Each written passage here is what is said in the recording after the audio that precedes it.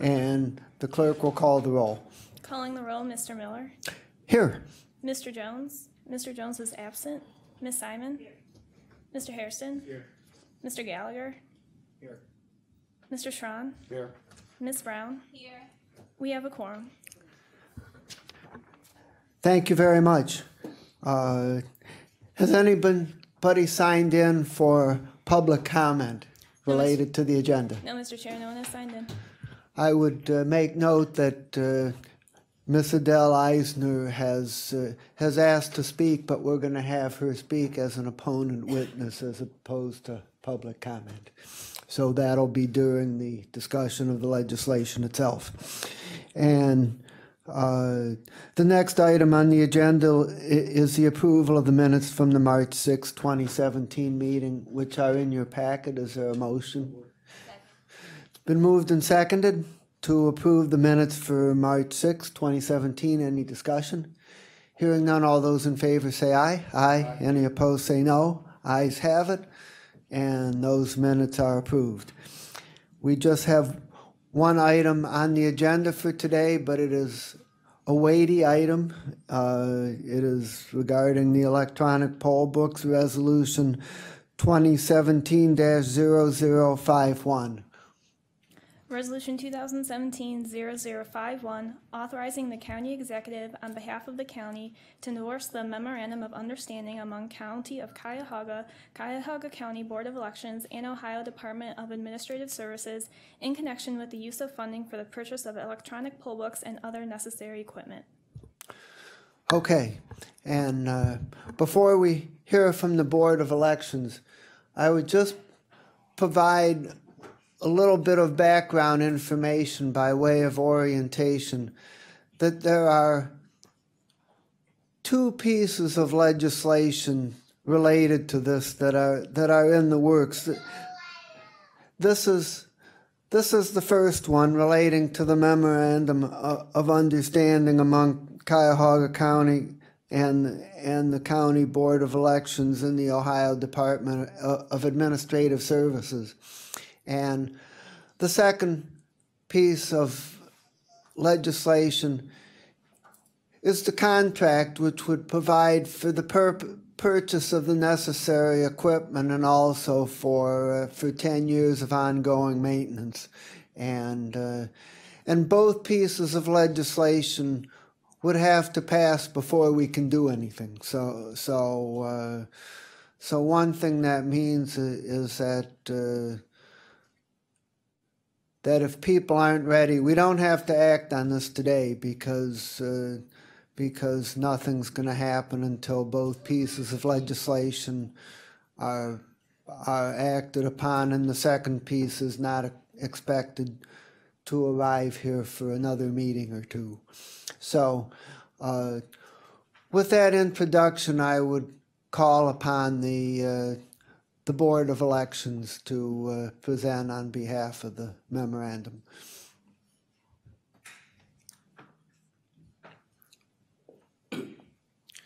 If, if we could start by having, uh, having everyone introduce themselves for the record, and then uh, you can divide up the presentation however you choose.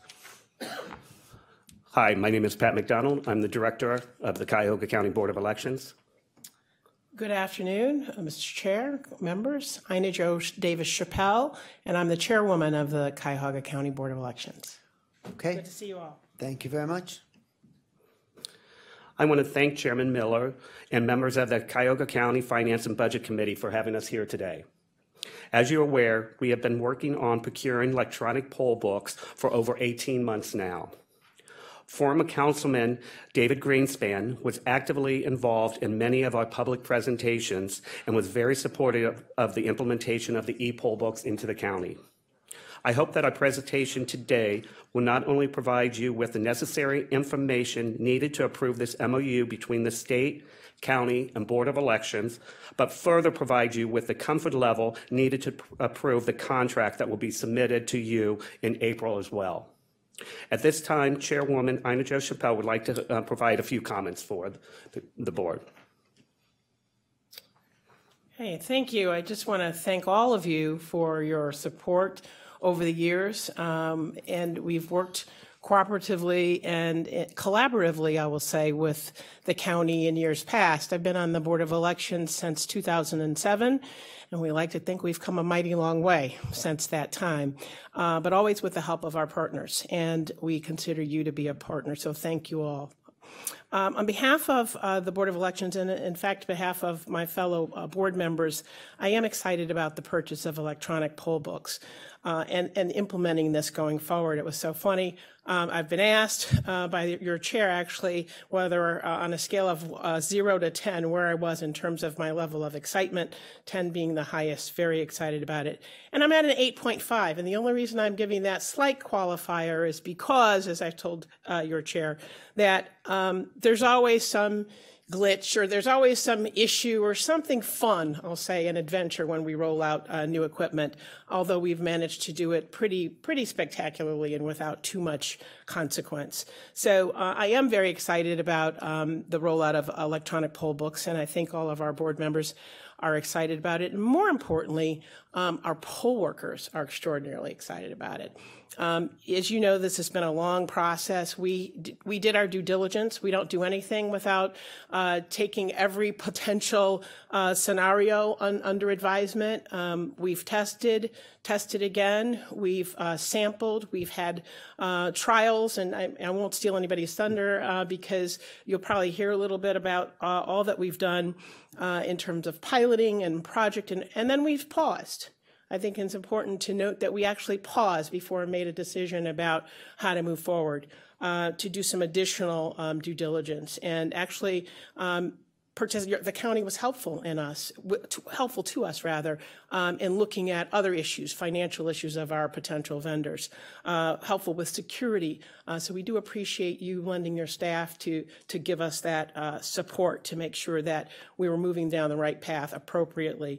And uh, we feel pretty strongly that um, the e-poll books are going to make our process faster. Uh, we don't sacrifice being accurate and thorough for, for speed, but we do believe that uh, the voters of the county are going to benefit from uh, the use of e-poll books and uh, that it will be a, overall a better voting experience for, for everybody. Um, the Ohio Secretary of State has um, is encouraging us all to to engage in this process and to purchase the poll books. We have a, a nifty program that allows us to participate in a program, so the full cost will not be borne, borne locally. Um, and I think uh, we've reached the conclusion around the right vendor. Uh, it took us a while to get there. I, I, admit initially I was not, I was not on board, uh, and I allowed the staff to do their jobs and took a look, and I think we vetted our, our vendors very carefully, and we have uh, come up with the correct vendor uh, for this project. Uh, I just want to assure you all that um, we don't take our jobs lightly. Um, we are supportive of the staff, but we do probably much to their chagrin, uh, pause and push back and um, question and question again. Uh, and so uh, I think we're quite satisfied that uh, the selection process has been thorough and complete, uh, that the vendor's been well vetted. And um, I think you should know that our board unanimously approved moving forward with uh, selection of this vendor and implementation of the e-poll books in throughout Cuyahoga County and with the selection of Tenex as our, our vendor. So I do thank you for allowing me an opportunity to, to be here today and to, to share my remarks on behalf of my colleagues. Thank you so much. Now, uh, Ms. Chappell, if I'm not mistaken, the Board of Elections has to be divided by political party so that there's there's a mix. Is that correct? That is correct. There are two Democrats. I'm a Democrat. Uh, my colleague, uh, Democratic colleague Dave Wondolowski, is not able to be here today. And then we are joined by our colleagues on the Republican side.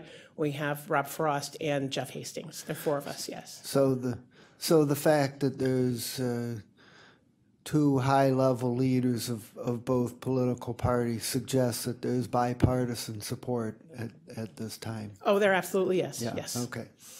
Okay. Please continue. I want to mention a few points of background information um, prior to our Business Administration Department Manager, Sean Webster's presentation. Beginning in August of 2015, the state of Ohio set aside $12.75 million as reimbursement for counties to purchase electronic poll books. This funding was allocated based off of the number of registered voters in each county divided by the total allotment, amounting to 1.46 million for Cuyahoga County, which equates to 11% of the total funds allocated by the state of Ohio. The 1.46 million was covered covers approximately 85% of the estimated purchase cost. Therefore, counties are required to submit the funding with the additional 15% and we'll talk about the funding more in our presentation. In order to receive our allocation of the state funding, the county must enter into an MOU with the Board of Elections and the Ohio Department of Administrative Services. As Chairman Miller mentioned, the Board of Election selects the vendor and other necessary equipment via a state term contract. The county is then responsible for providing the initial funding for the purchase, as well as approving the purchase. After the purchase is made, the Board of Elections can request reimbursement from the Ohio Department of Administrative Services for up to 85%. The deadline to request this is May 31st, 2017. Throughout the state of Ohio, 61 counties have purchased or are in the process of purchasing electronic poll books. At least 33 states have, uh, have jurisdictions that utilize e-poll books. As Chairwoman Chappell mentioned, the Secretary of State strongly encourages counties to utilize e-poll books, and I foresee the use of electronic poll books as a mandatory requirement in the future. There are three leading vendors in the state of Ohio, one being KnowInk, the other Tenex Solutions, Software Solutions, and the last one ES&S. As of Friday, Tenex Software Solution received commitments from Lucas County and Butler counties, therefore making them the largest vendor in Ohio with regards to voter population served and devices deployed. In addition to Sean being here today from my office, I have Chantil Sater, our election administrator, who will provide a product demonstration. We also have Robin Rohr, our CIO, and Jeremy Mio, the Security and Research Manager at the Cuyahoga County Information Technology Department, to answer any security-related questions. So with that said, I would like to introduce Sean Webster, please.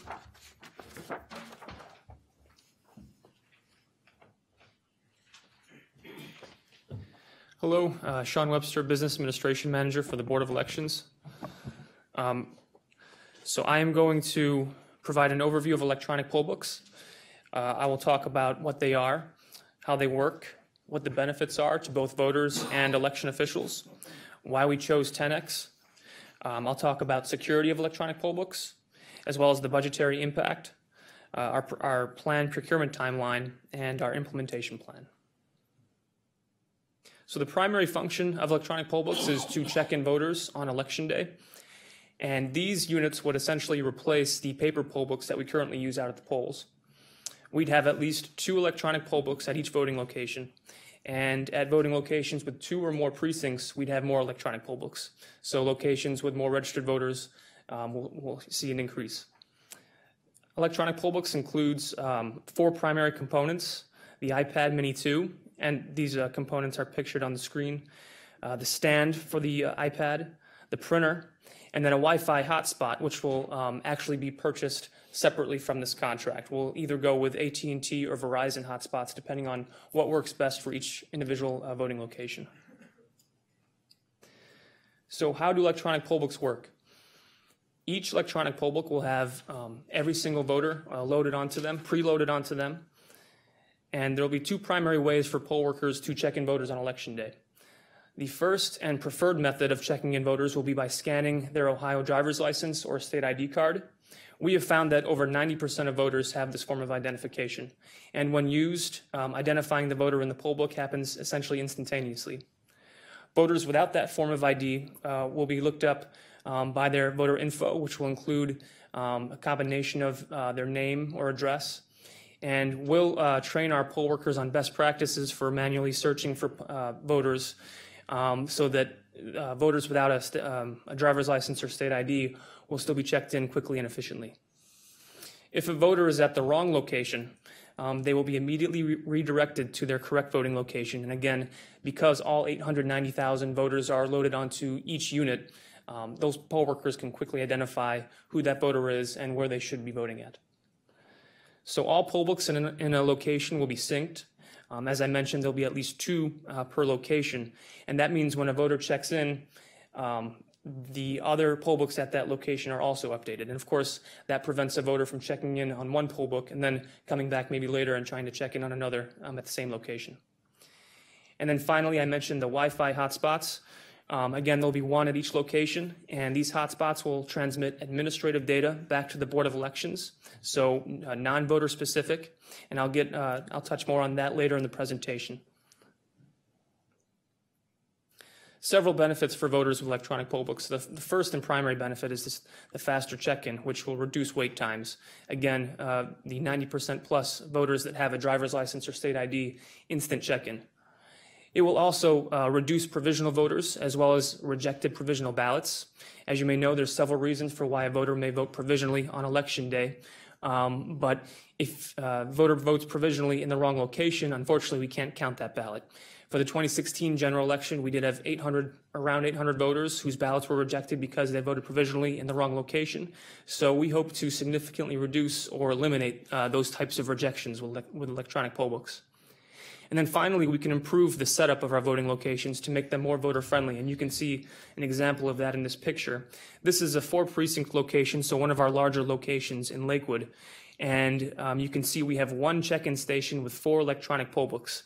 With the uh, paper poll books that we currently have, we'd have to set up this location. And the way we set it up now is by setting up four separate check-in tables, one for each of the four precincts. And of course, um, it makes it a bit more complicated for a voter because they have to know which precinct table they have to check in. And if they happen to check in at the wrong table, then they have to uh, be redirected to their correct table. So just less hassle with this setup. There's also several benefits for election administrators. First of all, uh, electronic poll books will reduce human error. Um, a lot of these processes that poll workers have to do on election day will be automated. For example, the driver's license scan. And then processes that can't be automated, um, they will be very helpful prompts for poll workers uh, that will guide them um, along the process that they're supposed to be conducting. Electronic poll books will also essentially give us a set of eyes and ears on the ground at each voting location on election day. And as you may know, we have 400, almost 400 voting locations on election day.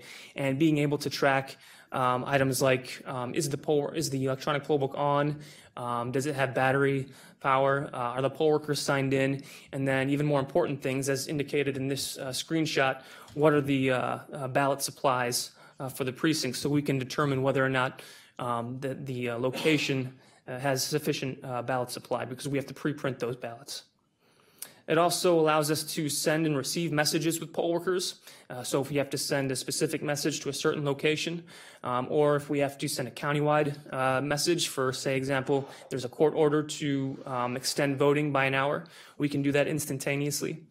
And then finally, uh, electronic poll books will allow for more efficient post-election processes. And one uh, good example of this is right now, um, after an election, we have to update manually the voter records of all voters that have voted in an election. That's a process that requires typically about uh, 20 uh, seasonal staff, takes about two weeks, um, and costs about $15,000 on average. For the presidential election, I believe it actually took about a month.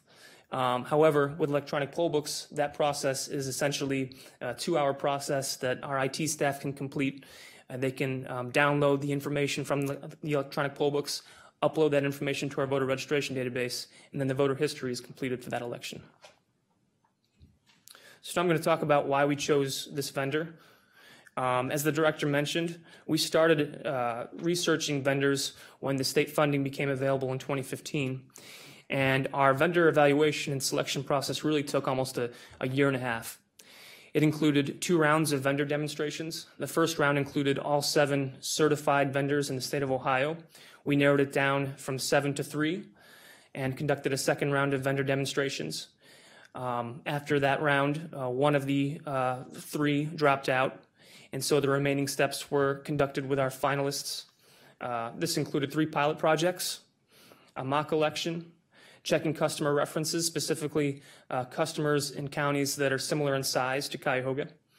We conducted a security review with the Department of IT, a financial review by the fiscal office. Uh, we conducted site visits to both companies, and then we reviewed their uh, customers' performance in the 2016 presidential election. We included many uh, criteria in our selection process, which included functionality of the units, user interface uh, from an administrator standpoint, poll worker standpoint, and a voter standpoint. Uh, we evaluated the hardware components, the pre and post election processes, the election day monitoring or dashboard of the vendors, uh, the level of training and customer service they provided throughout the process, and of course, security and cost. There are several reasons that set apart Tenex from the other finalists. First of all, and, and, probably foremost, is their experience with counties that are similar to Cuyahoga. And what that means is counties that are large. Obviously, Cuyahoga is the largest elections jurisdiction in the state of Ohio, and also counties that have paper ballots, um, because the majority of counties uh, have conduct elections with, with electronic voting equipment. Um, and so uh, Tenex actually has Hamilton County as a customer since 2015. Hamilton County is the second largest paper ballot jurisdiction in uh, Ohio. They also have several large paper ballot jurisdictions in Florida. And uh, there's two features that we're really excited about that are kind of specific to um, paper ballot counties. And one I kind of already mentioned was the uh, ballot inventory tracking, the screenshot I showed you earlier. And secondly is um, what's called ballot stub barcode scanning.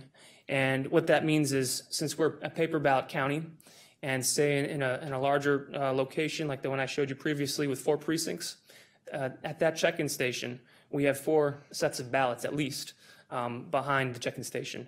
And we want to make sure that the poll workers are giving the voter the correct ballot.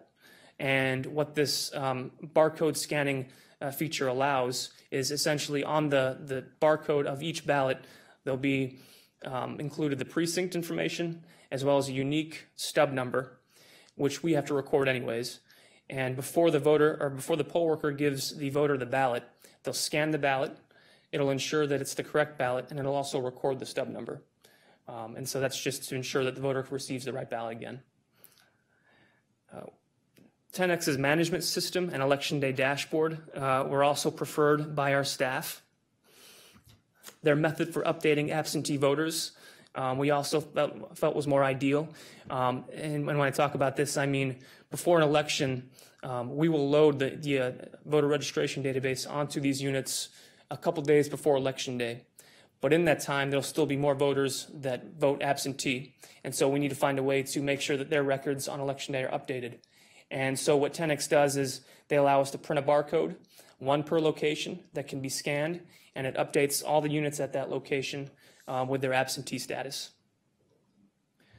We also felt that Tenex um, had better training and customer service, and that came not only from our staff, but also from our poll workers who were involved in the uh, mock election and the pilot projects. Tenex's product was also easier to set up from a couple different viewpoints. First of all, from their general election setup, when you go to create election to upload the voter registration data, uh, our IT staff felt that was easier than the competition. And also from a poll worker standpoint, um, as you'll see with the product demonstration, uh, Tenex's uh, electronic poll book is very easy to set up. Uh, the other vendor that we were looking at had multiple components that had to be assembled on election day, and we had trouble actually uh, setting those units up, so we knew that that would likely be a, an issue for our poll, poll workers as well. And the final reason we went with Tenex is because of cost.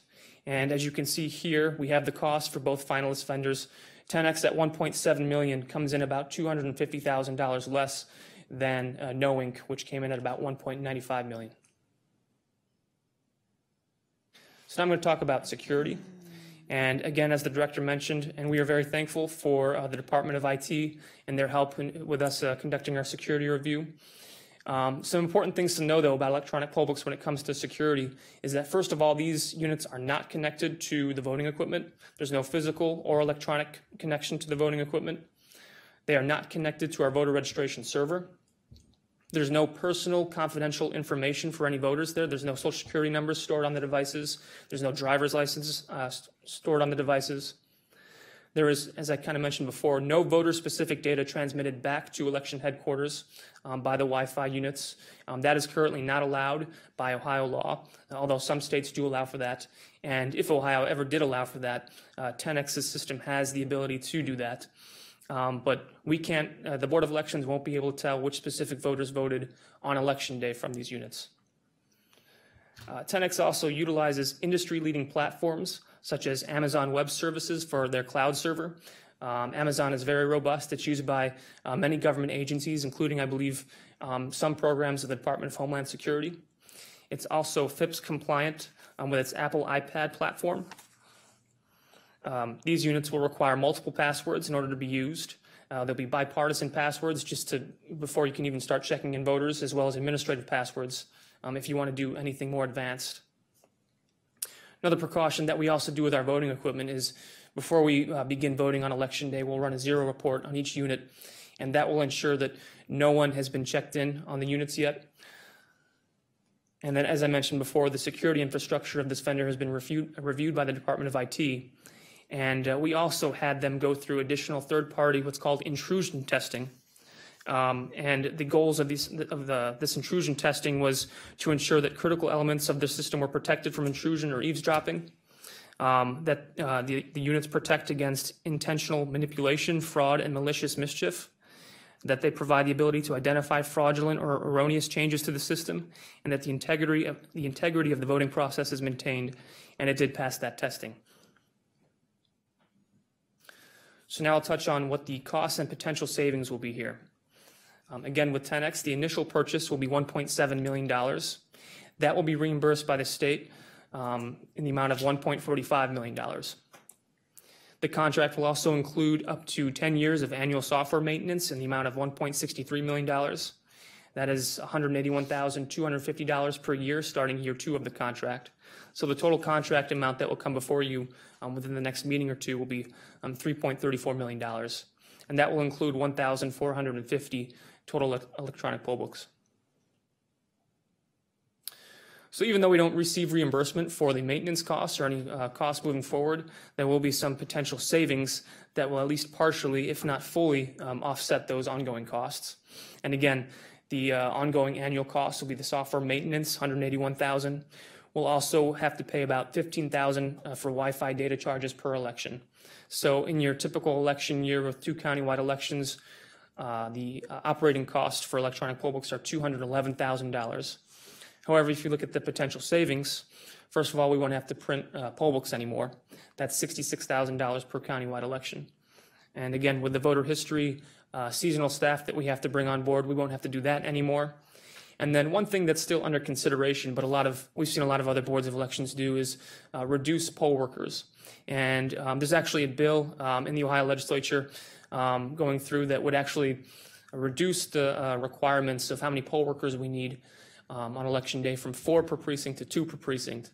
And even a simple reduction of one uh, poll worker per location would uh, net $66,000 per election. So if we were able to do all of that, that's almost $300,000 in savings, um, which is almost $100,000 more than the total annual costs. So our anticipated uh, procurement schedule. We've already received TAC approval on last Thursday. Next Monday, we hope to have it uh, before the Board of Control for an RFP exemption. Uh, as the director mentioned, this is essentially a state contract, um, but there are additional provisions that our board members want to add to the contract um, that will provide additional protections. These are primarily things that we've found uh, through our voting equipment and um, contracts um, that we've used in the past. Um, so we want to add those in, so therefore it will be an RFP exemption and we hope to have it to council by April 25th for first reading.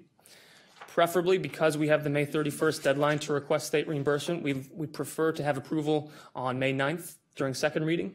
Um, but if not, um, it could go to a third reading on May 23rd, as long as we could have a signed contract before May 31st to submit to the state for our reimbursement. And finally, our implementation plan. Um, as I've mentioned previously, we've, we've already conducted three pilot projects for the May election, which will include 214,000 registered voters. We plan to conduct a fourth pilot project at all 76 voting locations. Um, for the September election, which has yet to be set but will most likely include the entire city of Cleveland, We plan to implement it at all uh, voting locations in that election as well. And then we hope to go uh, countywide for the November election this year. So that is the conclusion of my presentation. I'd be happy to answer any questions right now. Um, and then Chantil Sater, our elections and compliance administrator, will also be uh, conducting a, a product demonstration here shortly. Okay, well, that was a lot, so uh, we'll turn it to questions, and, and uh, I saw Councilman Schron first. Yeah, okay, so, Would you mind repeating the percentage that you think that will have a driver's license that'll show up? At least 90%. I think um, Hamilton County, in, in, for the 2016 general election, 93% of their voters actually were checked in with a driver's license. And so the other 10% uh, is producing what to verify? Um, there's several different forms of ID that voters can provide uh, that can range from um, just a military ID uh, to. Just a military ID? Don't say that to me, please, okay? Apologies. I'm sorry, having spent 28 years in the Army, it's it's not just a military ID. to a distinguished military ID, um, and then uh, items like a utility bill, bank statement, government check, paycheck, as long as it has the voter's name and current address. You can use any of those. And what has been the experience when they produce some other form of ID as far as what happens to your procedures and your, and the speed to which you're processing? it? It would seem to me that that's where you're going to come to a screeching halt at that point in time. I mean, it- yeah, it sort of depends on the poll worker um, that's doing the checking in. You only have two now, based on what I just heard. You've cut it in half. It also depends on, you know, the complexity of the name, but I would say that when we do a manual search, it probably takes about 15 to, to 30 seconds, I would say, to check in a voter. So we're really not looking at too much time. Okay, that's all stored on the iPad. uh, all- Every voter in the entire county is stored on the iPad, is what you're saying. And Mm-hmm. Right. Mm-hmm. you're gonna, and you're gonna find that person based on that. Actually, an additional feature that Tenex offers is when you do the manual search, it will pull up voters that are in that precinct first that have a match, a closer match to that name or whatever you're typing in. So that um, helps the poll worker uh, identify which voter it is. What's the security on the actual iPad itself? Uh, The number of iPads that are lost is in the tens of thousands, uh, literally uh, all the time uh, out there. And what's, what's, what's the security on the device itself? Can we purge it instantaneously from a central location? Yes, we can wipe any iPad if, you know, for say, we, we lose it, um, we can wipe the data on that iPad and then, um, I mean, additionally. remotely, right? Remotely, yes, Okay, that's so correct. instantaneously, right? Okay, so we can send a command signal out that wipe, wipes out all the data, I assume? Mm-hmm. Okay. It also, it, it, uh, it also has administrative functions in there that a person, if they just stole it, they would not immediately be able to access it. There's administrative codes, both an R and a D would have to enter into the iPad for it to be functional. Yeah, but these things can happen. I just, I wanted to make sure that we've got remote access, uh, purging of the, of that file. And we've tested that and we've tested to verify that, that they don't store it into a, and into a, a, a secured blo- box almost immediately. And then you can't get to, your, your purging system doesn't work anymore at that point in time. Um, that's what, some of my concerns about your ability to purge a file like that. Okay, thank you. okay. uh, Next, we have Ms. Brown. Thank you, Mr. Chair. Um, With regards to um, transitioning from the electronic away from the regular poll books, would regular poll books still be available? Or what would be, would there be a, a backup for the e-poll books? Sure, good question. We will have backup poll book, backup paper poll books, at least for the first three implementation of the e-poll book. So all of 2017 will definitely have a backup poll, paper poll book at each location. In addition, we will see, you know, how, how the product is, is doing throughout the course of 2017 and decide if we would like a backup poll book going forward in 2018 as well. And with that in mind, I actually received a, um, a phone call from a friend who was a registered voter, went to her accurate polling location, and was not listed on the poll book. But when you when she looked herself up online, unfortunately, she had already cast a provisional ballot. But when she looked her information up online, she was there, but she wasn't in the poll book. Is that something? Can you speak to why something like that might occur, or what the percentage of that um, occurrence could be? That to me is very rare. I have not heard of that happening um, in here in Cuyahoga County in any of our pilot projects. Have either of you two? I believe, um, probably on the additional list of electors, that is. uh, Go ahead and address it. Good afternoon. Um, Can you state your name first? for Yes, the record? Chantel Thank you. Sater, I'm the Elections and Compliance Administrator at the Board of Okay. Elections. Uh, we do have voters who update their registration just prior to the deadline Mm-hmm. or newly register, and it takes our staff a little bit longer to process those, and we do have a cutoff date that we have to provide the file to our vendor at that point to be able to print the poll book. Gotcha. So we do provide an additional list of electors, which is basically a list of all those registered voters that didn't make it in the original um, nicely bound book that we give to our poll workers. But we do instruct our poll workers to put this additional list in the back of the book. And I think that the only time that I've ever um, experienced someone's name not being in the poll book and that being the issue, they the reason they cast a provisional ballot, if the poll worker would have looked at the additional list of registered voters, the voter was in fact there, and that voter would find their own information on our website because it is updated in our database. So would, are the poll workers allowed to act because they don't have the, um, they don't, as it currently stands, they don't have any digital, uh, digital, um, licenses or even access to the, I just went online and looked at the 443vote.com and looked up her information. So are po- poll workers at liberty to do that if they find someone who is confident that they're registered and their name is not on the poll book or they don't find it in this device? Is that a valid, um, is that a valid resource for them to get a, a regular ballot? We would actually um, require our workers first to search um, through them. Not only there's several different ways: first name, last name, maybe last name and just date of birth, just to make sure that it's not um, maybe a misspelling or data entry error of the of the voter information. But then also we're going to provide a list of all the registered voters on backup print copy that are going to belong in, in that polling location. But at that point, they would be referred to what we have a separate voter assistance table that is in the polling location. We'd instruct them to call the Board of Elections so that our staff could walk them through and we could make sure with with one of our staff members looking at our actual computer screen.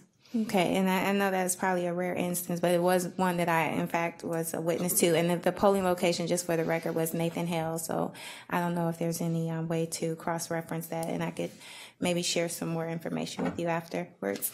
Um, with regards to seeing the the product, have we actually seen it on election an election day, or it's just been mock elections? Councilwoman Brown, no, we've had them in three pilot projects.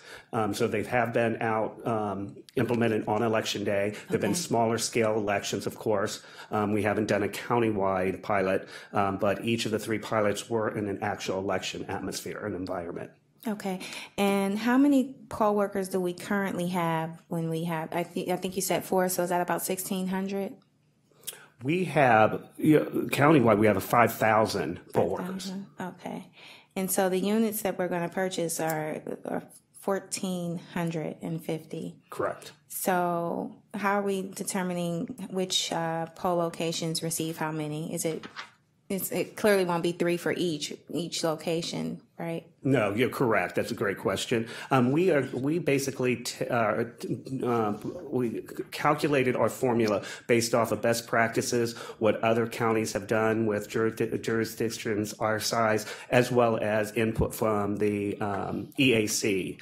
And with that said, we our formula is for single precinct locations. We will have two e-poll books two um, two precinct locations, we will have um, two um, three poll books. Three precinct locations, we will have four poll books, and then five precinct and six precinct locations, which are very rare, we will have four poll books. We feel that you know that's a you know especially in presidential election that is a right allocation for poll books as well as provide if one would fail that we would have backups there at the location. And one last question with regards to you touched on um, presidential elections, and um, by comparison, I, I, I can't speak to this with any certain accuracy, but I understand in other states they might have multiple early locations um, for registered voters to cast their ballots early, and we simply have the one, one location downtown. Will this enable us to um, give our registered voters who like to vote early more opportunities or access to vote at different locations, or will this solely be something that'll be continue to be implemented downtown? Um, By law, we are only allowed to have one off-site voting, um, early voting location here in the state of Ohio. So we can either choose to have it at the Board of Election or in one other location throughout the county. We are not uh, um, legally allowed to have multiple voting locations. Although with that said, the state legislature and the Ohio Association of Election Officials is constantly reviewing early vote centers. And that is something that, you know, that we talk about a lot at the Board of Elections. And to have early vote centers, you would definitely need e-poll books. Otherwise, you would not be able to tell who voted at what center Right. in real time. But that's, you know, exactly, for us to ever go to early vote centers, you would need these e-poll books. So that could open up the possibility of us getting um, additional locations for early voters. It could. It could. It should be. It should be for providing at least the, the discussion from the, on the state level. And it, and because the information is being accessed in real time, it, that really s- s- is a strong argument to be able to make the case to say we can now open it up to different different uh, locations. Absolutely. Okay, thank you. Ms. Simon? Thank you. Um, So this money from the state allocation, what's the source of that money from the state, if you know? Um, it- Mr. Director, is that, is that just dollars from the state's general fund? Is this federal money? Where is this flowing from? It was the state's general revenue fund. Okay. And, and their rationale for this fund is to um, benefit voters, including faster check-in, um, reduce waste time, and reduce provisional voters so that they can send um, voters who are at the wrong location to the right location. That's correct. I thought there was a law, at least for a minute, that the poll workers were not allowed to tell people where to go, or was, am I misunderstanding that? They're, they're allowed to give that information? Oh, absolutely. And we do that all the time. You do that all the time? Okay. This will actually pr- print out a, a, a ticket that will provide directions and a map to the, to the right location if they are in the incorrect location. Okay, and what kind of improved setup at voting locations are you envisioning? That was one of the reason benefit. Sure. Um, you can you can supplement here my answer, but I think one of the um, nicest um, setups is that it's centrally located.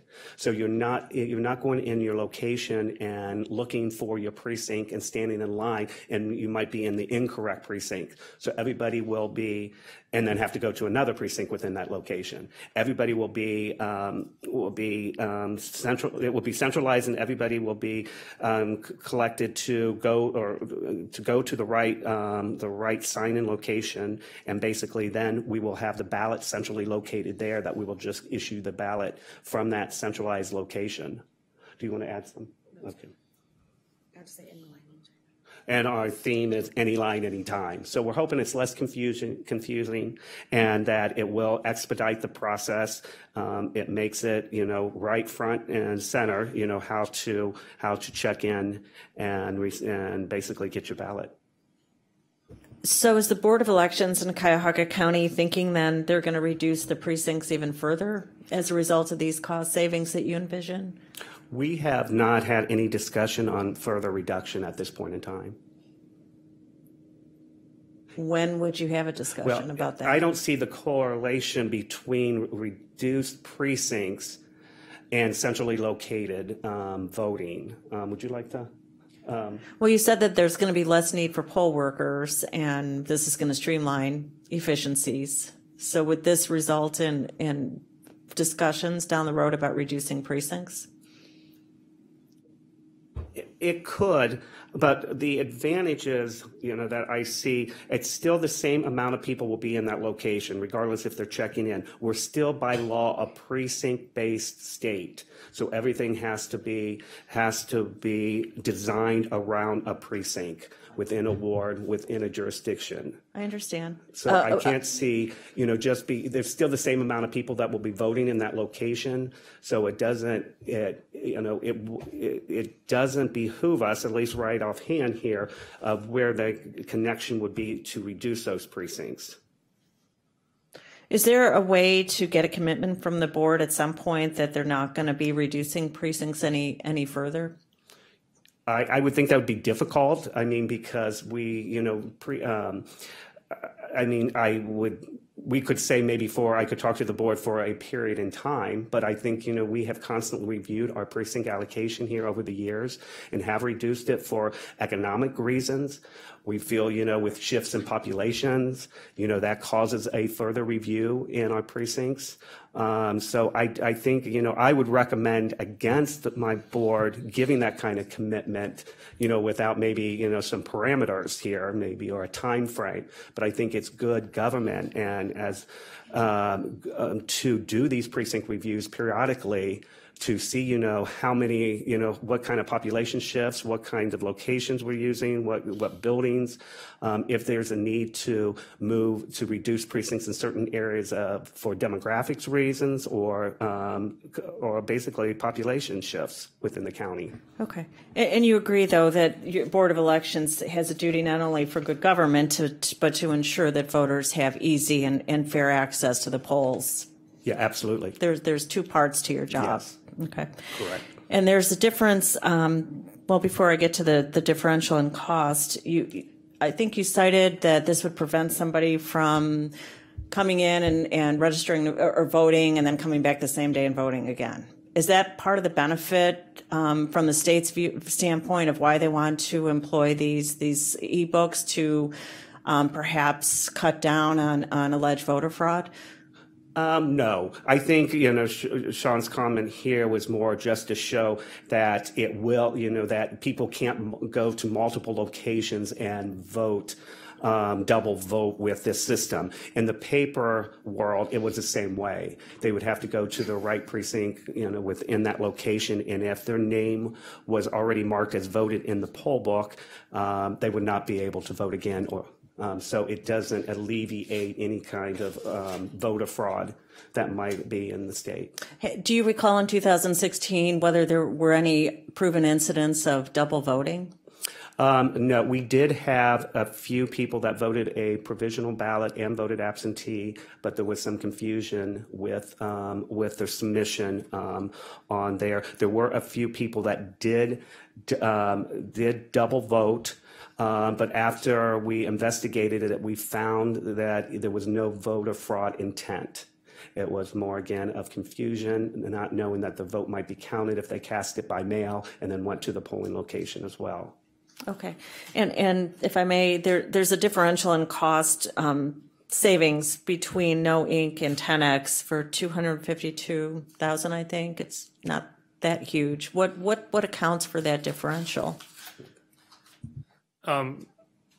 Ink system was uh, an iPad Air, which is just a, a larger device.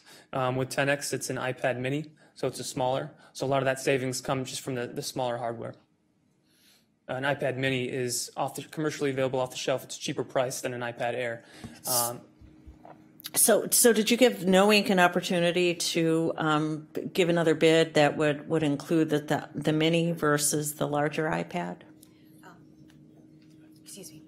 Uh, their system does not operate off the iPad Mini as it's set up at this moment. Um, Tenex, they're, they have the ability to use their application on the iPad Mini or the iPad Air or actually any Apple device. But the KnowInk system only only worked and was only set up for mostly aesthetically reasons of how it would look on the screen if it went to a smaller version. Did you ask them whether they could, could um, change that application in time for this um, implementation and time schedule we have before us? I don't believe we ever asked that directly. Um, Okay. We took the pricing off a state term contract. that Yes. We submitted. Okay, that's it for now. Okay, uh, I'd like to uh, welcome Ms. Baker to the committee and call upon uh, Councilman Hairston for questions. Thank you, Mr. Chair. Um, uh, two of my colleagues covered some of the questions that I had, but just to just to make sure that I'm clear, so the the amount of poll workers that we'll be hiring for the locations is not based on the amount of uh, devices we'll be buying. We'll still have other uh, workers inside of the location who will not be operating the particular pads. Absolutely. We will still have the voting location manager. We will still have the presiding judge. Um, we will have the, um, you know, the sufficient amount of poll workers to be at each table to check these people in, a Republican and a Democrat, as well as we will have the voter assistance table um, fully staffed. So we'll continue to have those other provisions and those safeguards in place for folks who come into the poll location. It's not just having a person to check them in and send them on their way to, to the booth to vote. No, you're correct. Good, good. Now, you, you talked about uh, possibly eliminating the paper poll books uh, completely moving forward, depending on how the the pilot or test goes in 2017 and others. But things happen. You know, the, it, it can always it's, it's electronic, it's man-made, so a device can shut down, get locked up, or or or just don't work at all, just don't want to turn on. So what happens in that case when they get there or that morning is working, then in the middle of the day it goes out and we have no paper poll books on hand?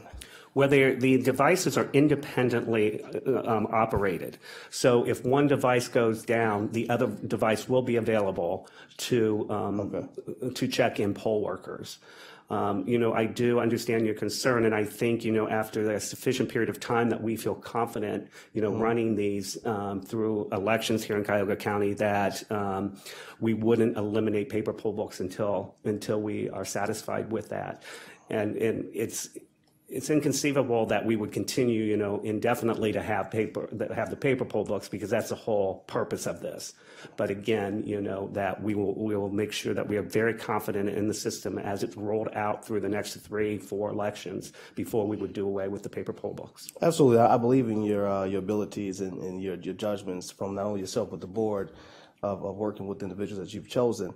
Uh, but in, in the perfect world, you know, uh, you know, we can depend on some of those things. But in the non-perfect world that we live in, let's say we get one of those two precinct voting locations and, and both pads go out. Uh, what, what, what, what, are we, what are we, we're faced with that challenge, what are our options? You know, what do we have to, to, to help us continue throughout that, uh, that day? Is a signal immediately sent to you all? Is a real-time monitoring of the system to know that if the, if the, the, the device is going out? And do you guys have backup devices that you take out to the location that are preloaded with that particular information? Or how would that work? Good question. Um, Well, you know, for the time being, like I said, if we do, you know, conti- assuming we still have the paper poll books, we will then just, you know, pull those out and start vote, start voting people through via the paper poll book. Um, We will have extra devices at each of our zones, which is approximately 10 to 12 minutes from any polling location throughout the county. Mm-hmm. So we, you know, so if for the worst case scenario, down the road, there was no paper poll box and both, both devices, you know, would go out at the same time, or there would be no devices available, we would have, you know, voters would have to wait until we redeploy, you know, additional backups. Um, But in any of our research, we have not found any um, voting jurisdiction to, you know, to have that um, problem happen. Sure. So you you have all the devices within a reasonable uh, uh, the distance of the of the, the well the zone you, you said uh, that will be brought in to to help deal with those issues should they occur. Yes. Okay. Thank you. Okay. I'm aware that uh, that some other jurisdictions uh, rejected Tenex because of the smaller screens. Have in in any of your test work, have any of the uh, poll workers or anybody had had a problem with using the smaller screen? No, not at all. That was one of my initial concerns too, of it being a smaller screen um, compared to the standard size screen. Um, but surprisingly, through all our mock elections and public presentations, the poll workers chose the smaller screen iPad versus the other ones that our com- um, competitors were um, issuing. And uh, you said that there's, uh, believe you said a two hundred and fifty-two thousand dollar difference in the cost in for for the installation. Uh, my question is whether the, there's any difference in the cost among the two companies for the ongoing maintenance. Uh, Actually, there's no difference in the cost. The, for the annual maintenance, it was the same cost per unit. I believe it was $150 per unit. So it would have been the same ongoing costs with either vendor. Okay, and uh, if if the system cannot issue reports of of uh, of who individually voted. How do you issue the eleven and four o'clock reports out of each precinct? Um, good question. Um, I did. I was noting that Sean. It, might, it made me. It made it sound like that. The the system can produce those reports. It's just not going to be transferred through via the internet back to headquarters. The only the amount of numbers um, of people that voted will be transferred. No voter information um, that identifies the voter will be transferred. But then at the polls, we will be able to print out those those individuals that voted at that location and we will um, we will then print that off and, and place those in the location at 11 and 4. Okay, and you uh, you testified that under the current system that there's uh, some people who register or update their information late, and, and as a result of this, there has to be a supplemental list. Uh, my question is uh, whether the conversion to uh, electronic poll books would eliminate that problem where where all of the voters' inf- information could be on the electronic poll books and there would not, not be a need for a supplemental list. It will, there still will be need, a need for a supplemental list because what we will be doing is packing the e-poll books ahead of time before the final weekend of voting, and voting lasts till two o'clock on that Monday. But the beauty of the e-poll books versus paper poll books is that um, currently we have to basically make a handwritten list, um, take those all out to the polling locations, and then and then rely on the poll workers to go through those lists and put the and put notations in the poll books for whatever you know if they voted absentee they came in and vote early or you know they were updated registrations that were not in the original uh, list of electors uh, so now we can do this electronically. We can so we will upload you know the last three days monday at, two, you know at three o'clock. We will take these um, what will we be doing it on? Um, Um, are you talking about the time, or it's barcode that will mail to the? That we'll be taking, the- we'll be then taking the barcode and, and um, sending it out to the polling locations. And they will be able to, just by uploading one machine, it will, all- it will upload all the current machines within that location. So Okay. it will be a lot quicker, you know. Okay, and uh, uh, as I understand it, there, uh, the system, the Tenex system, also has some advantages about uh, providing real-time information on how many ballots you have in stock at precinct locations. Could you explain about that? Yes, the, it has the capability of providing us an inventory at, at on real at real time of the amount of people that voted, and or the um, which will then equate to us being able to determine how many ballots are on hand. So we can look, and we will be monitoring, especially in a primary, in a primary where it's very difficult to calculate the amount uh, um, uh, ballots due to the fact that any individual can come in and change the party, or those unaffiliated voters decide to choose a party that given day. So we will be able to watch all throughout the beginning to the end of um, election day the amount of inventory that we have with the ballots on hand at each at each location. Okay, uh, Councilman Schron. Thank you, Mr. Chairman. Um, So if I, the reporting, that- to answer, uh, back to Mr. Miller's question as far as the periodic reporting throughout the day of the, of uh, voting status, um, that's that's going back to central headquarters, is that coming off the polling books then? Or is that going to be coming off the machines as to who voted? It'll be coming off the uh, polling books. Oh, okay. So in, in the past, that was a manual entry that you were telling, you were coming back and saying who voted at, at, uh, at X time? The Yes, when, in the past, in 11 and 4, we would Yeah. have to actually basically write, you know, ch- check off each, you know, we had a list of electors all at the location that, that is posted. And then at 11 o'clock, we would manu- manually check off to say, this person voted, that person voted. So you And weren't then taking a screen dump of, of, of the ballots uh, that were actually put into the machine? And, because that, that only tells you how many, who- who came to the polling to sign in. It doesn't tell you whether they actually voted. I guess I was just curious. Because if, if their ballot never went in, if their ballot was ineffective, you would actually show them as having voted, even though they maybe didn't complete the process for some reason. I don't really understand your question. Okay, they're registered to vote, they walked in, you see them at the polling book, they signed their name, you gave them a ballot. Uh, I can't believe that hundred percent always voted. Uh, I I can only believe that some did not make it into the machine.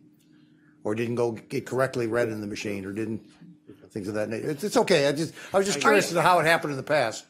Are you asking about the, are we trying to monitor the ballot inventory or who voted at this point? Who voted at this point? Because that's what I thought you were, you were saying, how, your, your eleven and four reports were telling you how many, how many people They voted. do. The electronic poll book itself, there's a, in the printer, it will print the list of people who have actually cast their, or signed in at the check-in station at that point. Um, it's very, basically, um, as the director stated, we provide them the list of all their voters. They're simply placing a check by their name as they're checking that person and letting them sign in the poll book.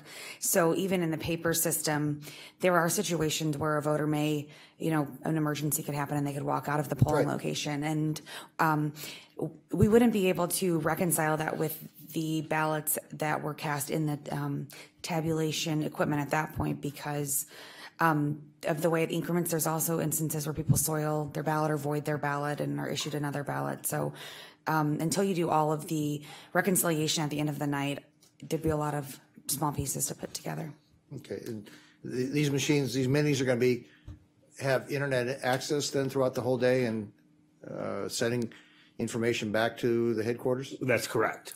Okay, and so what data is in that, because I know we're gonna have, somebody else is gonna be a contrarian a little bit, uh, so date of birth, name, address, what other information is capable of being sent?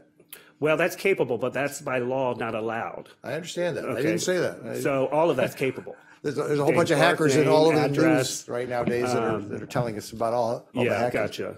So all of that, the date of birth, that we, you know, the actual individual voter file could be, could be sent back to us, which, which basically gives us, you know, all that information from what the voter registration form states, as well as to the, you know, we could access the voting history at that point in time.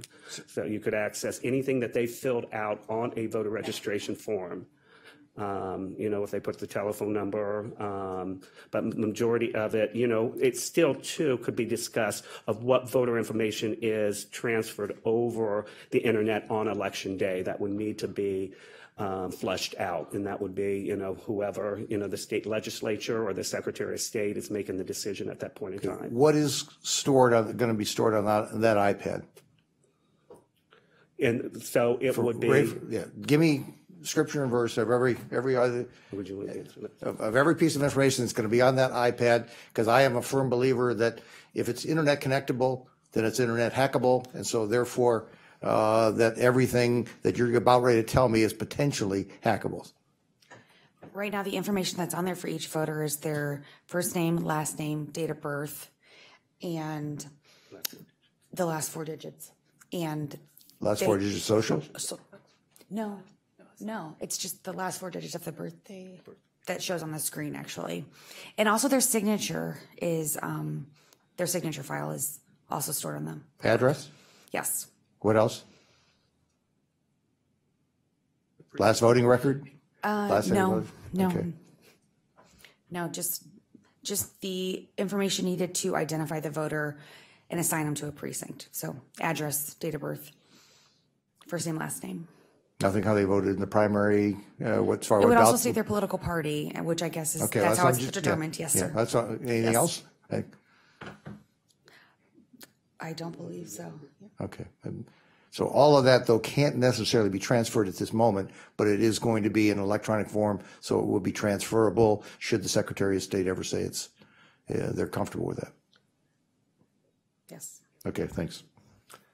Okay, to, uh, to follow up on uh, Councilman Schron's question, I'm going to ask your question and I want you to respond to it as the system is now and also whether it would be the same under the new system.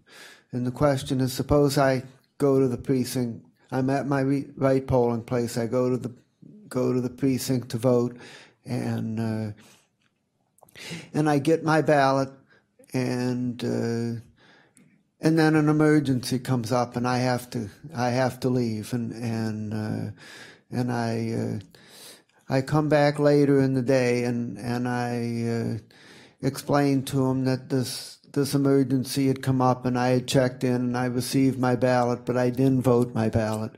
And my question is, uh, is will you say, uh, you already signed in and as far as we know, you already voted, so you can't vote again?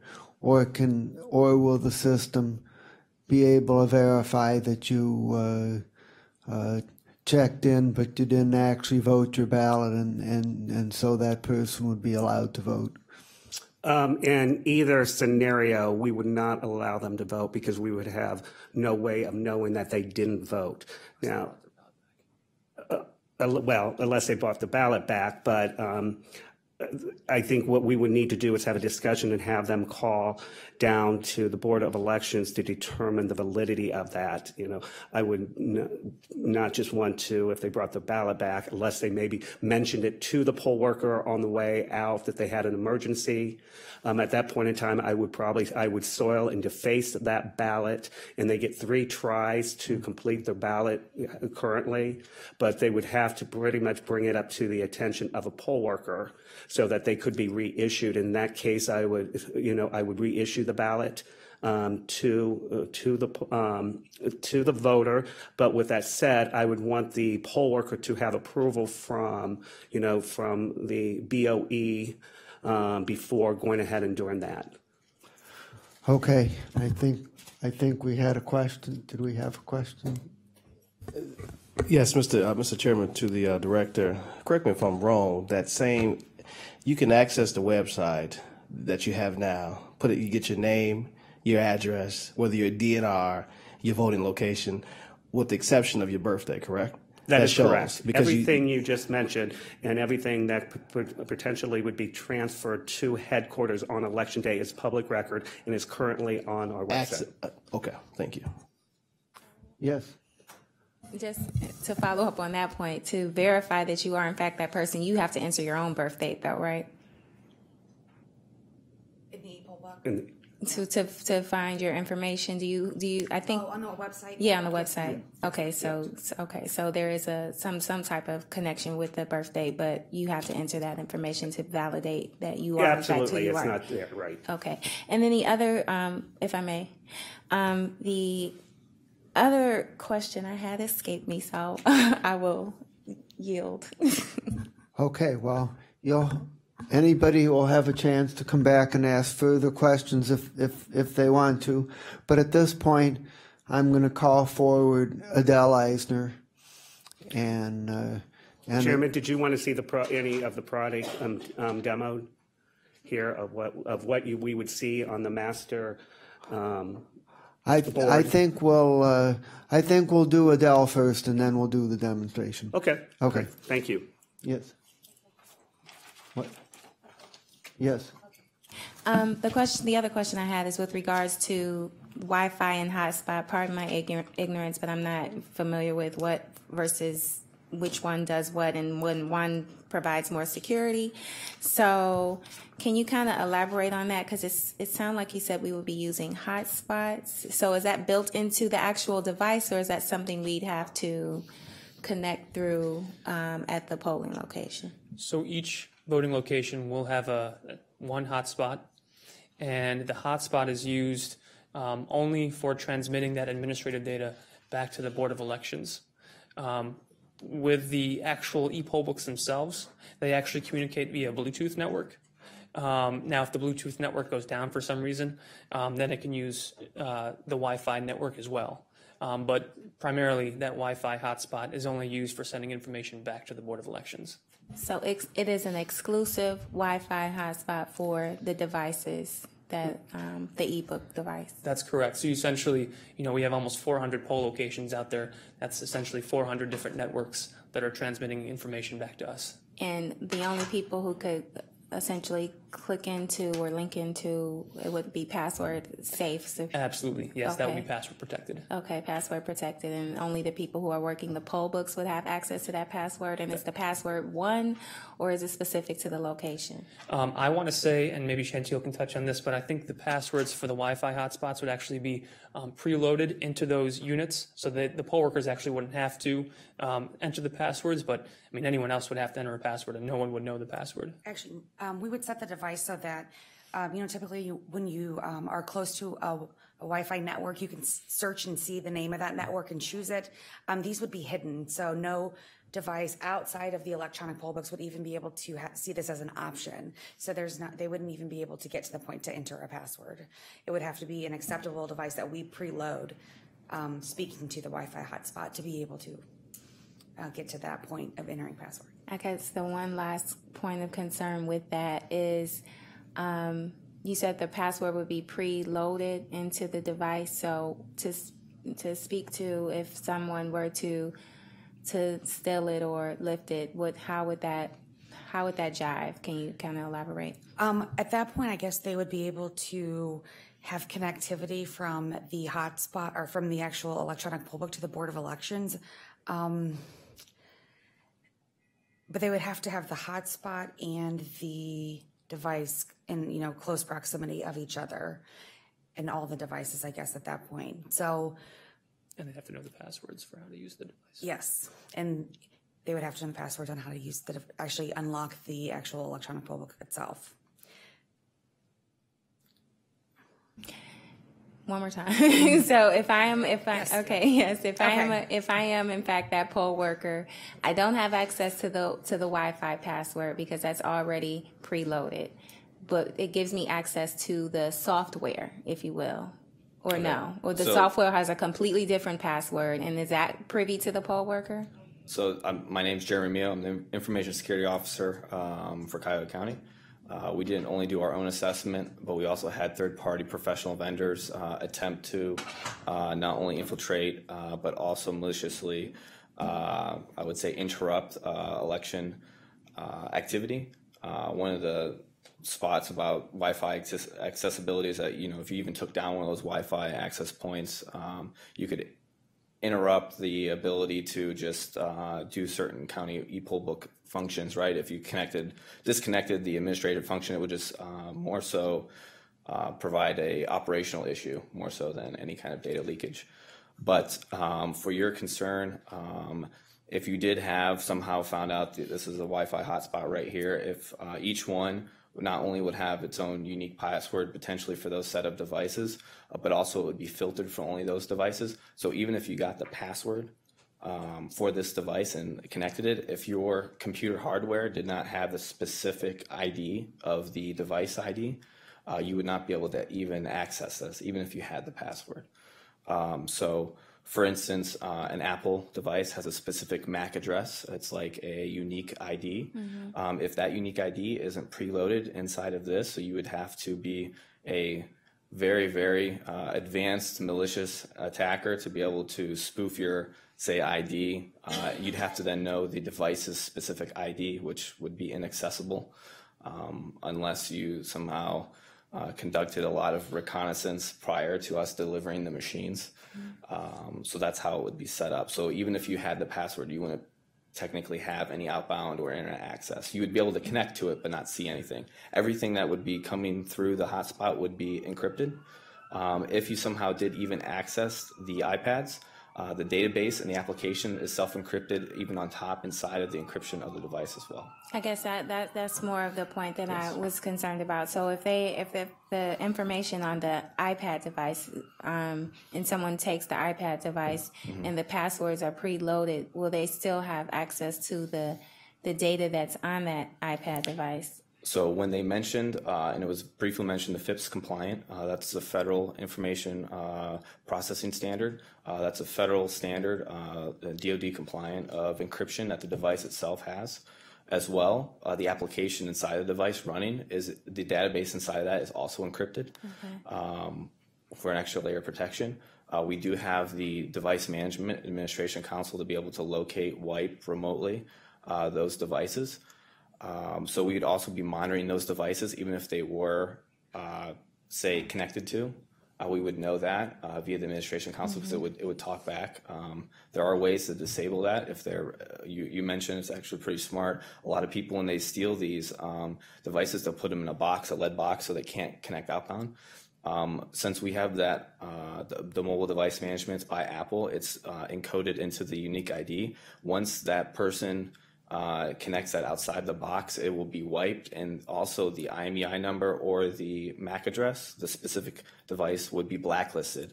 Uh, so it wouldn't be able to be, say, loaded another OS, or you wouldn't be able to take it to a store. If you try to sell it on, uh, you know, underground, it wouldn't be accessible. It would pretty much be bricked and inaccessible. If that, I hope that clears that up. It helps. Also, just to clarify, in regards to the preloaded password, that's only for the password for the Wi-Fi. The, the passwords to actually utilize um, the electronic poll book, those aren't preloaded, so you'd have to know those as well. Okay, so that's helpful too. So they, so the, the poll workers will be responsible for knowing the passwords to access the data. Okay, all right, that's good. Okay, thank you.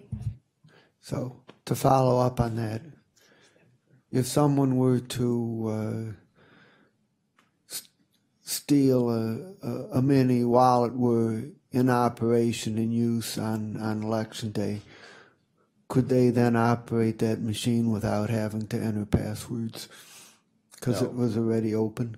No, they uh, actually just to also talk about the physical security devices. These will be secured down um, as well. Uh, if you want to look at some of these, they, they will be secured down to the actual, I guess, structure that they're on for the uh, device. Um, if they were stolen uh, and left the vicinity of that location, we would know since we're tracking those.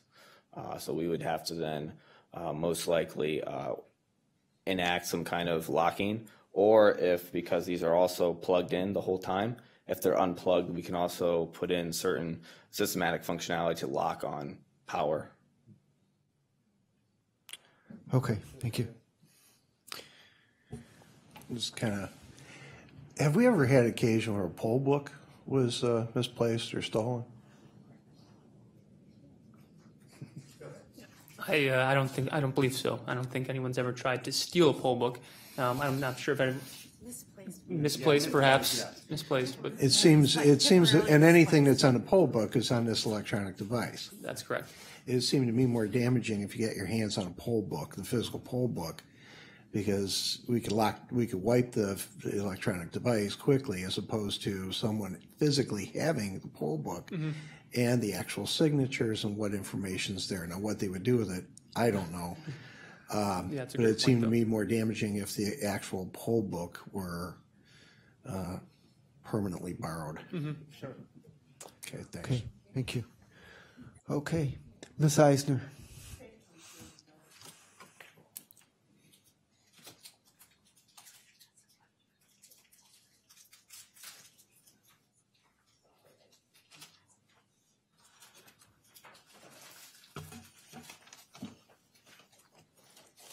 Thank you very much, and Chairman Miller and members of the Finance Committee. Um, I appreciate this opportunity to come here today. Uh, As you know, I spoke at the uh, March 14th council meeting expressing some immediate and actually kind of passionate concerns about these e-poll books. Um, I want to emphasize that I am not necessarily against electronic poll books. Um, probably the biggest thing that uh, I am here about, and I will go on um, uh, and give you some details about why I'm here and why I'm so concerned. But the biggest thing that I'm here about is um, the ability for citizens to have the same information, if it's all public information, which I don't believe it is actually, but for the citizens to have, be able to have the same information that those watching the dashboard, the information that's being sent back, uh, as Mr. Schron talked about, to the dashboard. And that doesn't necessarily mean to the Board of Elections. Um, actually, it means that a person has certain credentials to get into a website that's held basically in the cloud, um, on the Amazon cloud. Um, and regarding some of the your concerns about hacking, I'm right there with you. Um, uh, your concerns about hacking, I'm right there with you. And certainly during an election, um, for a county the size of Cuyahoga, if we would think that uh, an election where it's known that there's information being sent back and forth, uh, that we would not be a target of outside hackers, I think we'd be foolish. Um, so that all, all due diligence has to be done. But uh, I am actually against the lack of information to citizens about these e-poll books, about the details about these e-poll books, about if a citizen wants more information, there seems to have been a history of evasion about getting public information, which only makes the person want the information more. I know uh, as I communicated with Chairwoman Chappell, um, and after I got 77 pages of black redaction about the security reports that came back, uh, she she said to me that she knew I was disappointed about getting that. I wasn't disappointed. It's not like I was waiting. Oh, yay! I have the information.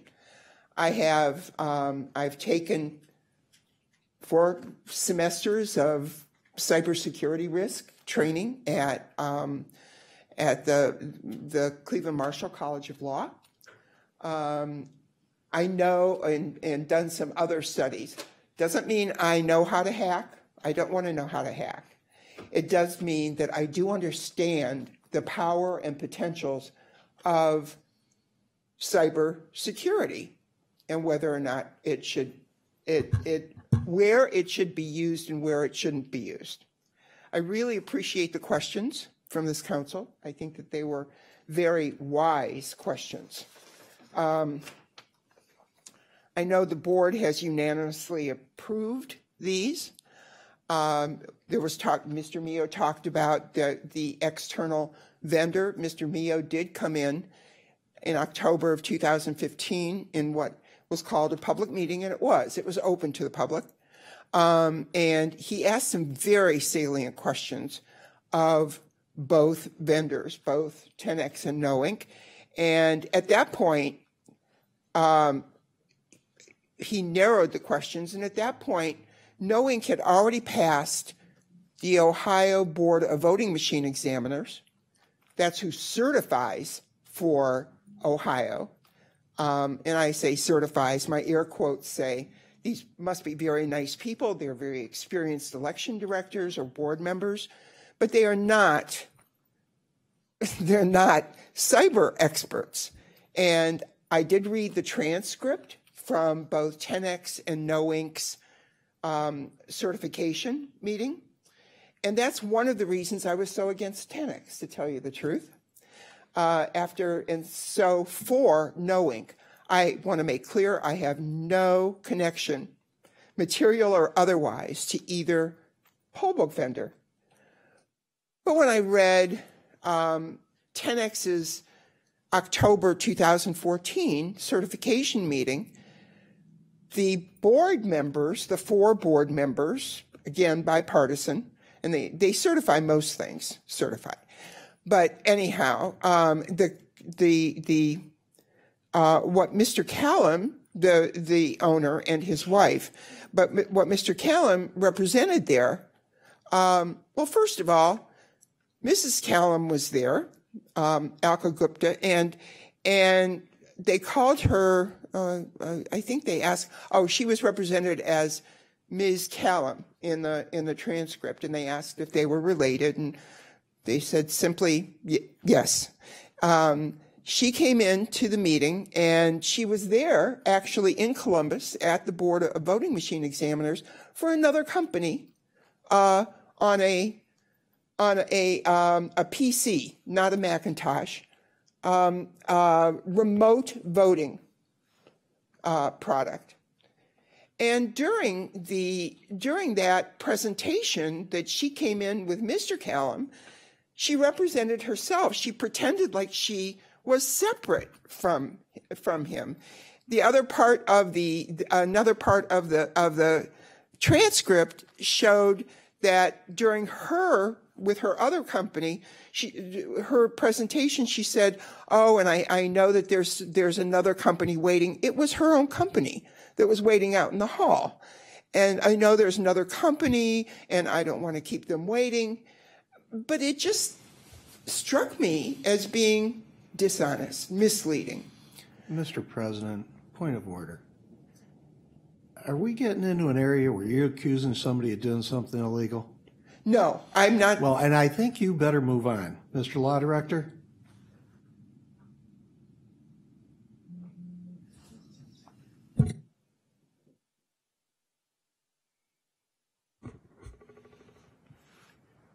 is, is there, uh, I, I guess I would leave it to council as how they want to conduct the Well, my, meeting. my concern is, is we're on the record here. And while this is, this young lady can have her say, I don't want someone that's not here being talked about in a fashion in which, the way I'm taking it, is they, they're doing some shenanigans. I think if you have a point, I would stay on the point, or, or, I, I don't want to be party to this. I understand. And, and I'm going to step out until we get back on.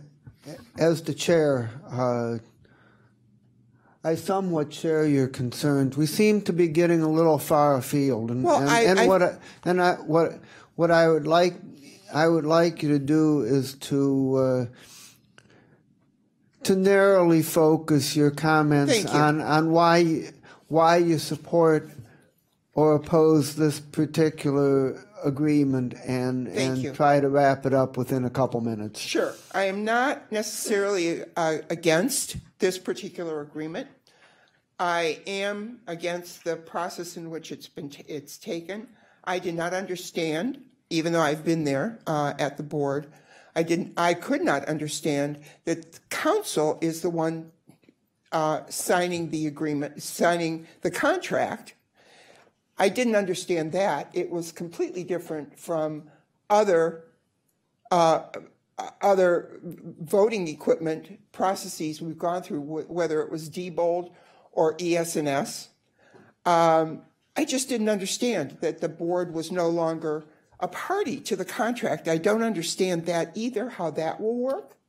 If there's a problem with the poll books, uh, it, isn't it the parties to the contract? Is it up to council?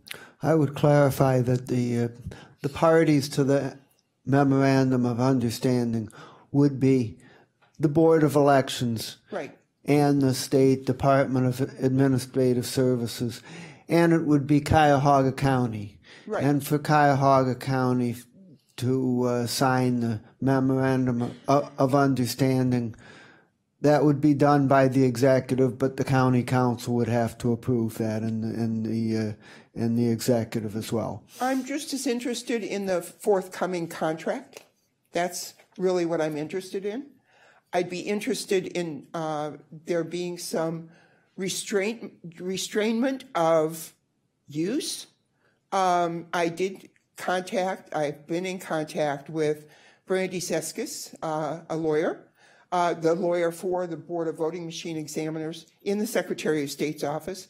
And she said they're not quite comfortable with this internet communication. Um, I'd like to know, I think that the citizens deserve to know who is going to be, who's going to be credentialed to look at this website when this internet communication of voter information happens.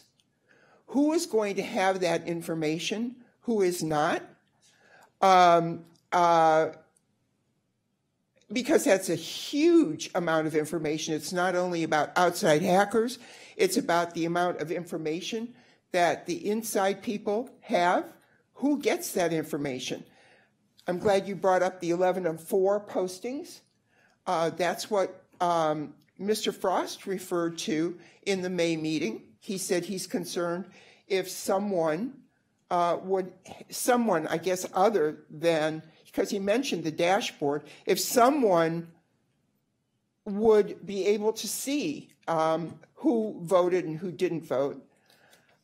When the law about the 11 and 4 postings happened, nobody even imagined that this information could be sent back and forth. That's an enormous advantage to getting out the vote by the parties or candidates, et cetera, to know who voted and who didn't vote. Uh, it's important to know uh, when those changes take place. I have been part of election integrity for citizens. Citizens are getting more and more interested in, really a lot interested in being able to hold our people who run our elections accountable for the results that we're told. I do believe that the ballot department at the Cuyahoga County Board of Elections currently um, is one of the finest in, in Ohio.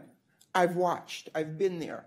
I've watched, you know, but that is, it's a little bit shaky when it's really standing on one manager's shoulders to hold that. He holds a straight line. He goes, you know, he goes, goes right by the book, making sure that every process is complete and total and fair. Some of the other things I'm concerned about, which you heard about today, were the ballot stub scanning. Uh, to make sure that the voter gets the right style ballot, I understand it's particularly troublesome when there are split congressional districts where um, where one uh, one precinct might have two different kinds of ballots, and they have to make sure that they're giving the, the, the, two style. They have to make sure they're giving each voter um, the correct style of ballot. That's generally not a big problem, but I have a problem to think that citizens have no way of oversighting um, uh, uh, of over, oversighting a, pro, uh, a, a process that's right now that is right now just for absentee updates. Um, I understand that has to be done quickly, but there's no way to know what's underneath that barcode, which I understand can be done with just a scan of a cell phone. It can update, the rovers can go around and update who has voted absentee uh, with, with just the scan. If one can make that kind of difference in a registration database with that kind of that quick kind of information, and we don't know what's under that bar that barcode, I think that's problematic. Um, after all, the registration database is the gateway to voting, and what's not there is not there. What's there is there. What adds to it during the mock election uh, one of the things I pointed out to um, the chairwoman Chappell um, was that you know it was they used they used very it's a very honest training um, training process, but they used fake barcodes for Ohio driver's licenses and a fake registration database to experiment with these people with. We don't need, I don't know where that fake registration database came from. I asked, I couldn't find out. None of that was answered. Um, is is the fake database, you know, was it part of real people or inactive voters or just names made up with addresses? It's it's really hard to put that together in my own head. There are a few other, um, just a few other things that I'd like to point out. Um, for instance, the, we're told that they're, you know, they're not connected to the, to the internet, and we were also told that, that they can print out maps if they're in the wrong polling location. And another thing that's said is an advantage to voters is if they give the poll worker their telephone number, their cell phone number, they can be texted maps. I asked Ms. Chappell, and never was dealt with in public. I don't know if she has the answer. Um, I asked Ms. Chappell, well, are the voters warned that if they, if I give you my cell phone number, um, it's going to be captured. It's going to be captured by that equipment. I think that voters should be warned.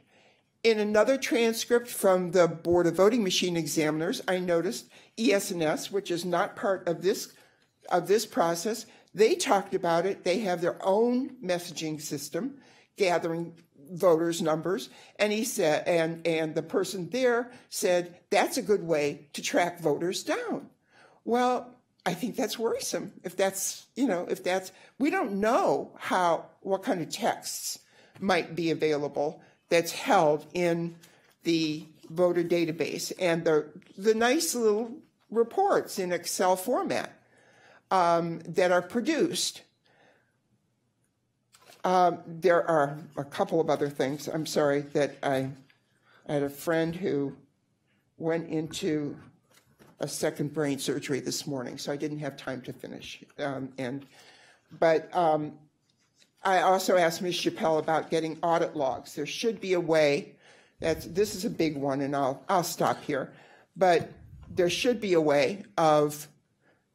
I asked Ms. Sater, um, Ms. Sater, um, to have a copy of the audit logs.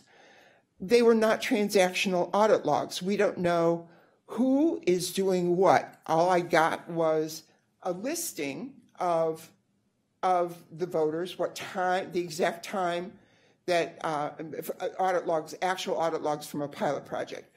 So I got the the the person's name and the time, uh, the exact time they voted. Um, she had redacted the date of birth, but if the da- the date of birth, and you were right about the date of birth, we put in our own dates of birth. The the Secretary of State's website has the full date of birth according to many places in the ORC, that is private information. Um, and that would be transmitted. The signature, the pictures of our signatures, I know these things are encrypted. Um, all the information from the security testing, and again, Ms. Chappell would joke with me and say, all she's talking about is security, security, security. But by the time the security testing came around, it was announced in a very, in an unjustified process. Um, they sent, there, there was no deliberation about where they were sending this stuff, um, uh, these two, these two uh, vendors. A process where the vendor paid the lab separately, unknown amounts of money, um, and and the process was that they they sent them to an EAC independent lab. The EAC, and I could bring you data on this, the EAC never, their labs, their certified labs, independent labs, never have tested for cybersecurity. Why would you send them there when there's Carnegie Mellon, which is known worldwide? for cutting edge cybersecurity testing. Okay, I think uh, I appreciate the testimony. I think we're going to have to. Uh, it just wasn't uh, a fair process, and so what I'd like is public information. Thank you. I I will summarize. Thank you, Mr. Chairman. I really would like to see a security policy, knowing a clear security policy, knowing what is allowed, what is not allowed, um, so that all this stuff that really could have huge potential effects on our elections, citizens' elections, is not allowed to happen, or there is a consequence written down. Thank you. Okay, thank you very much. Uh, just since my name was mentioned a couple of times, if I could have a few moments to just offer some comments, and, and if, if that if you don't mind, I may be out of order here. Uh, that would be in order, but I would like it to be very brief, and I'd also like it to be uh, uh, specifically addressed to the factual issues at hand. I don't want to get into uh, a personal debate. Oh no, I wouldn't. I wouldn't dare do that. I want to say, um, as chair, we are always welcoming of Ms. Eisner as one of our most passionate voting activists, and, and so we appreciate when she comes before us and asks very uh, poignant, probing questions that cause us to think broader, wider, faster, and, and all the above. So we do very much appreciate Adele's involvement um, with our agency. Um, as a former member of the Ohio Board of Voting Machine Examiners, Examiners and a former chair of the Ohio Board of, Mach- of Voting Machine Examiners, I do want to say that I think uh, it is a necessary process um, for all voting equipment to go through. Um, and, and there is a certain level of vetting, maybe not as robust as one would like, um, but it is an important step uh, before we consider any kind of uh, new voting equipment in our state. Uh, they perform a, a, wonderful process, an important process, and you know we we often, as members of the Ohio Board of Voting Machine Examiners, question, you know, why are there so few testing labs? And there is a, a, process by state law that requires a vendor to pay the testing lab, so that cost and burden wouldn't be on the state. I, I don't think there's anything that's uh, you know uh, evilly intended or anything that is conspiratorial that should be read into the process by which voting equipment is certified in our state. Uh, perhaps it could be more robust. Um, but you know, none of us, frankly, can uh, look at a piece of equipment, go through a matrix of potential intrusions or uh, functions, and determine that the uh, equipment is ultimately going to be 100% safe proof. I do want to say um, um, the concerns that uh, Ms. Eisner has uh, brought to our attention and then your attention um, are, are well grounded, and we have taken. That's part of the reason this process has been uh, so protracted.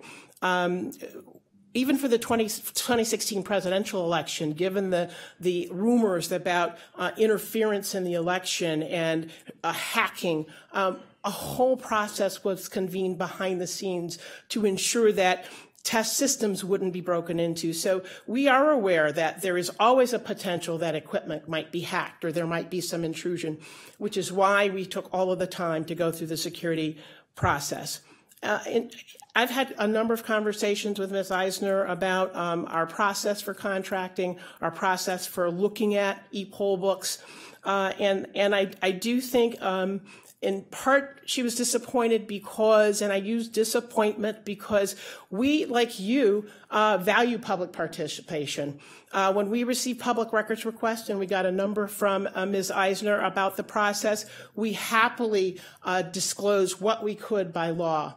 Uh, but we relied on our, our, our legal counsel, our county prosecutor, and, and the security exemption under the Ohio Public Records Law for redacting the information that needed to be redacted.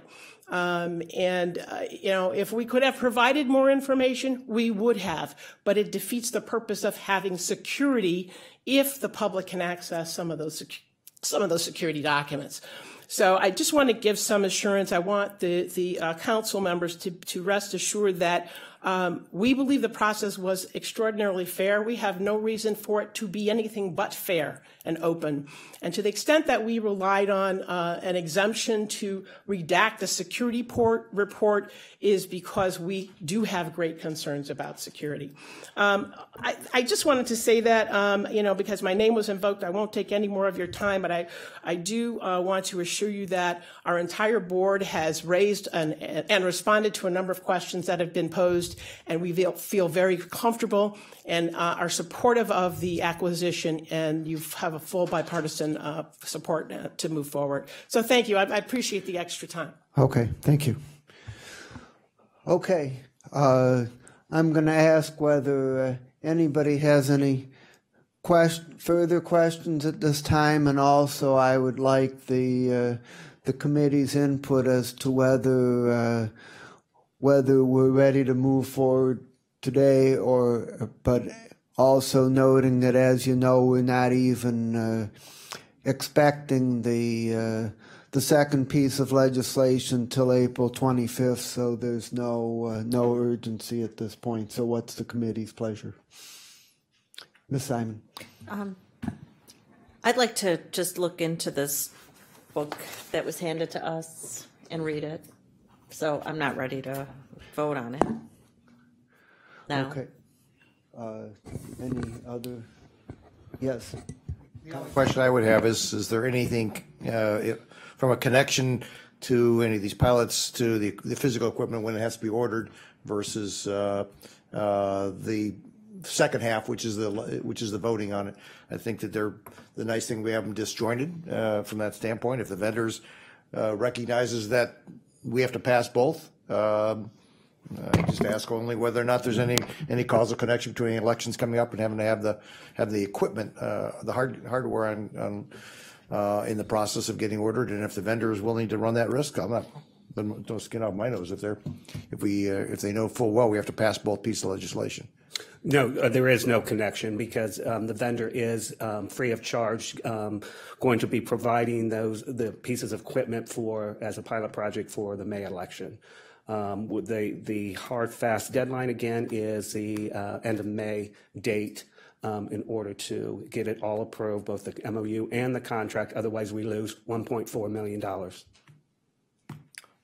Okay. Mr. Mr. And uh, would you, would you like to, uh, I understand you had a little demonstration. Do you want to present that? It's up to you if you want, to see that. Yeah, let's see the demonstration.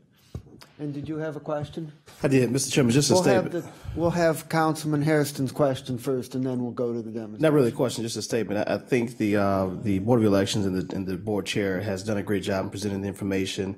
This council has this committee asked some great questions, and I think we've drilled down to a lot of the the uh, the, the core issues of the poll book and the operational deficiencies possibly there, along associated with uh, rolling this out.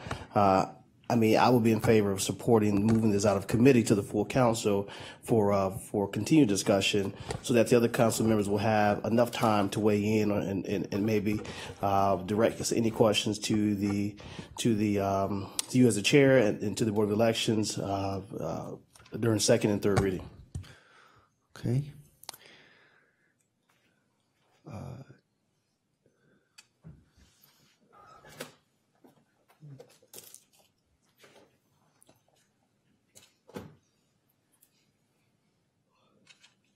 Well, that's um, what I'm seeing on my screen here on the electronic poll book is pulling up on my screen. I'm just gonna show you how the device comes uh, for the poll workers out there. So uh, one of the nice benefits of going with the system is how eas- easily it is to set it for the poll workers. So there are no pieces that get put together. It flips out, it kind of opens like a book. And when a poll worker is using it and sitting at one side of the table, it is high. If when it needs to be directed to the voter for signature or something like that, you simply flip it and then they have access to the unit. So um, a lot of the other models that are out there, there's a lot of spinning and rotating and pushing the unit back and forth. So uh, it takes about three minutes probably to set up from the moment of turning it on and getting it out of the case. So.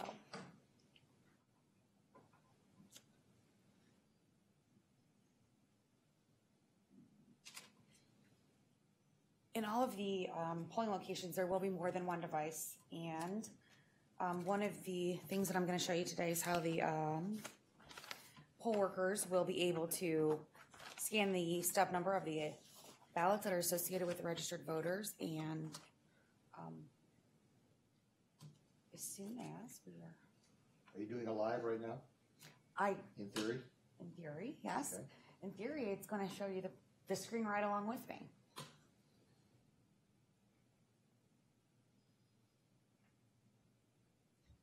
Plug it, it back in.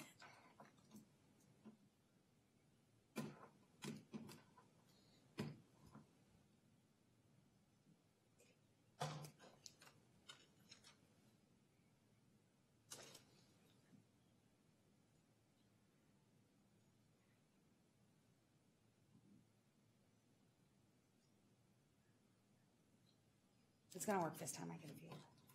Nothing worse than live electronic demos. We've done- Used to do it as a business. Hmm. The anxiety factor right now is high in your end.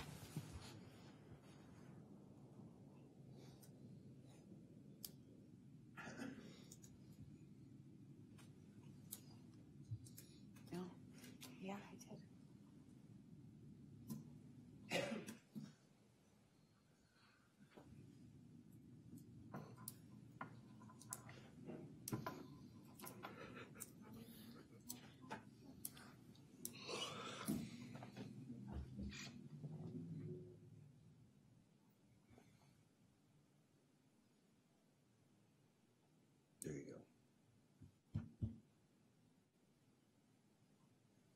Yay.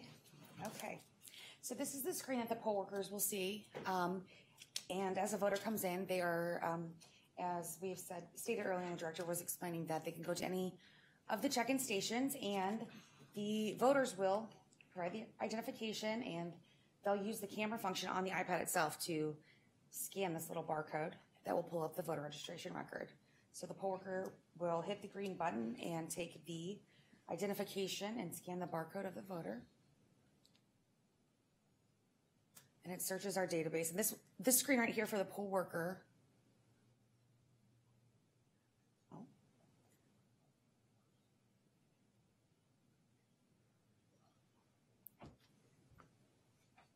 That guy's walking out the room. Sorry. We saw it for a second, and that was it. Sorry. I would just like to point out the device itself is working beautifully. So it's the other part of the technology that's not working right now.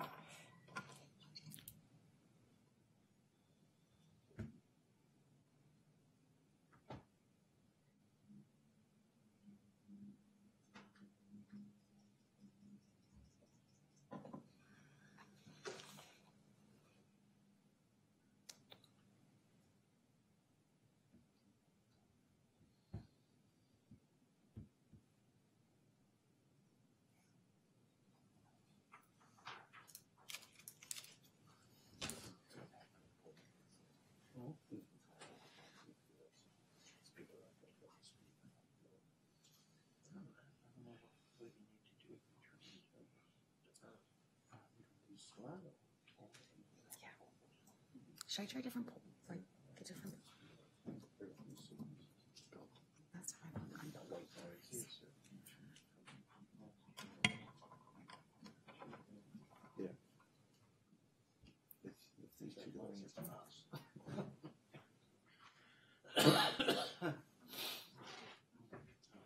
Yeah, that's what you need. Did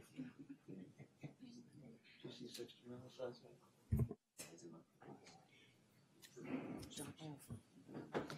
Okay.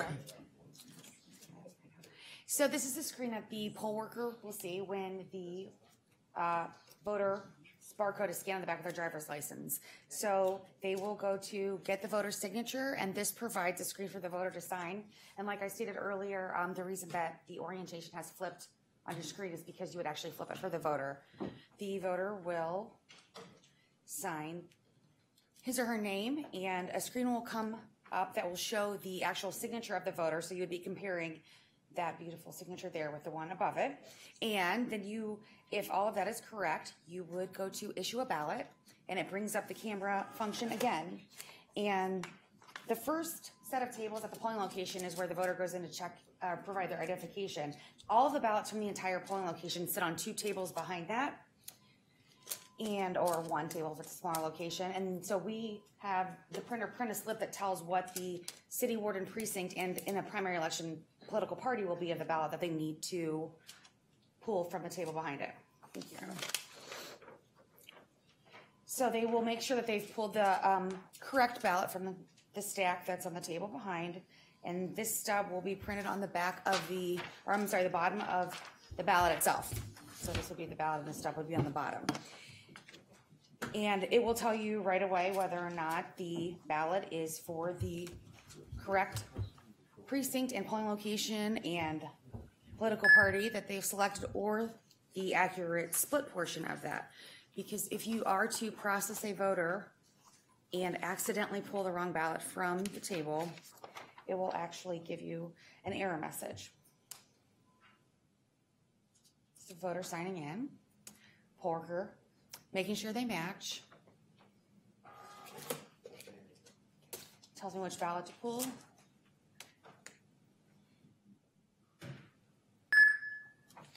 And they get an error message, so it doesn't really let you issue the wrong ballot anymore. And although it didn't happen a lot at the Board of Elections headquarters after the elections, when you were trying to um, reconcile, it was um, sometimes often difficult to be able to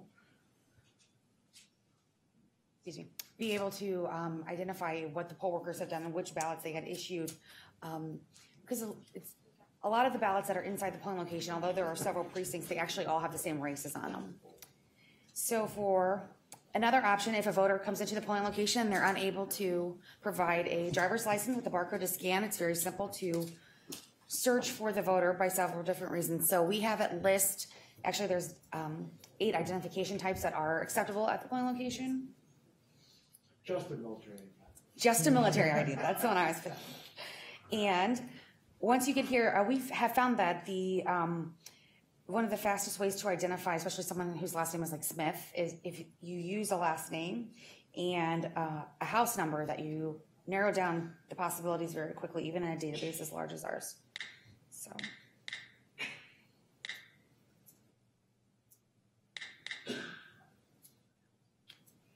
And it will pull up the voter, and this, um, oh, actually, I picked the husband and not the wife. There we go. A confidential voter is a, a person whose address does not, is not on file. Well, it is on file the Board of Elections, but we keep, we don't. Yes, yes, yes. So in order for that individual's, the voter's information in that to be verified, um, they have to call it onto the Board of Elections because we don't print that information in a paper poll book. We don't provide it in an electronic poll book either. So that's a warning that they would get in that they are still eligible to cast a regular ballot, but they have to have approval from the Board of Elections and verify that information down here before we issue them a ballot. So once you do pull up the voter, it's the same process. As long as you have uh, the, the correct record, you would sign the voter in and issue the ballot.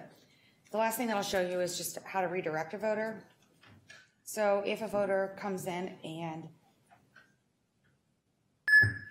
happens to be in the wrong polling location, it's a very large notification at the top of the screen. And there are constantly, uh, in every screen that you go through, there's uh, prompts that you can read that will actually help the poll worker be able to decide what the options are. So in this instance, we would could go to more options and we would go to redirect the voter.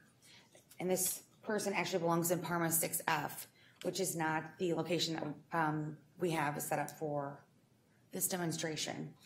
This screen um, allows you to make the map larger. Actually print out uh, driving instructions step by step from where you are at that polling location at that moment. And there is an option to either email or text that information to the voter at that time. And what it does, it supplies you a link to that address that we have in file for that polling location. And it opens up the application of whatever you have set as your preference. So Google Maps, or if it's the Apple uh, map function, it will actually take you to that mapping application on your phone and you can click on the link. And no matter which type of voter that we do process, if it's a regular voter or if it's um, an individual that needs to be redirected, we always make sure that we have some type of paper record to keep track of what we're doing. Are there any questions? Yeah, Mr. Chairman.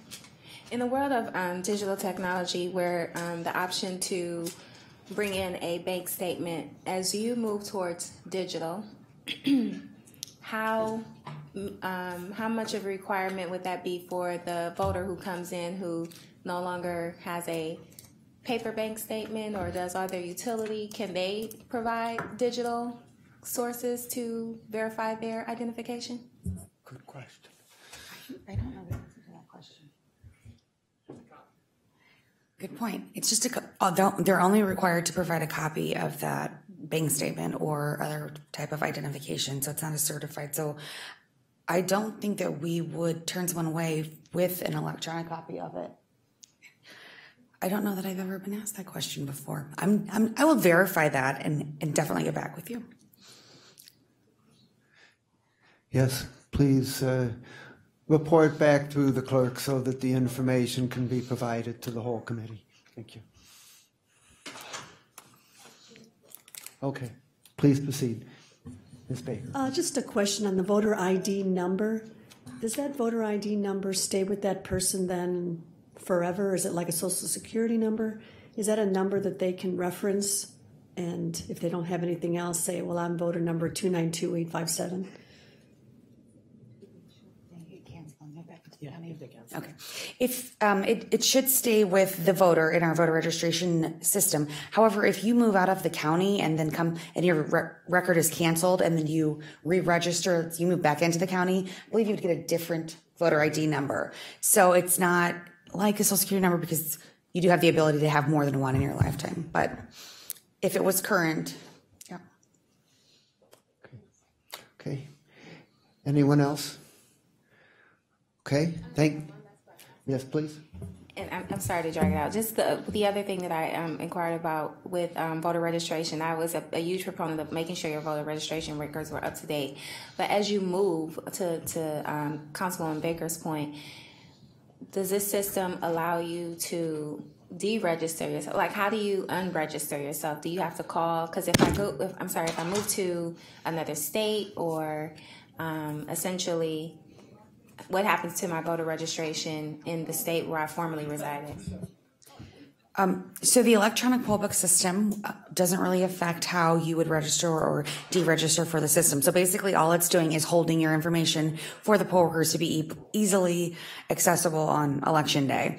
Our main um, voter registration system that we use in-house that basically supplies all of the information we end up importing onto our units would be.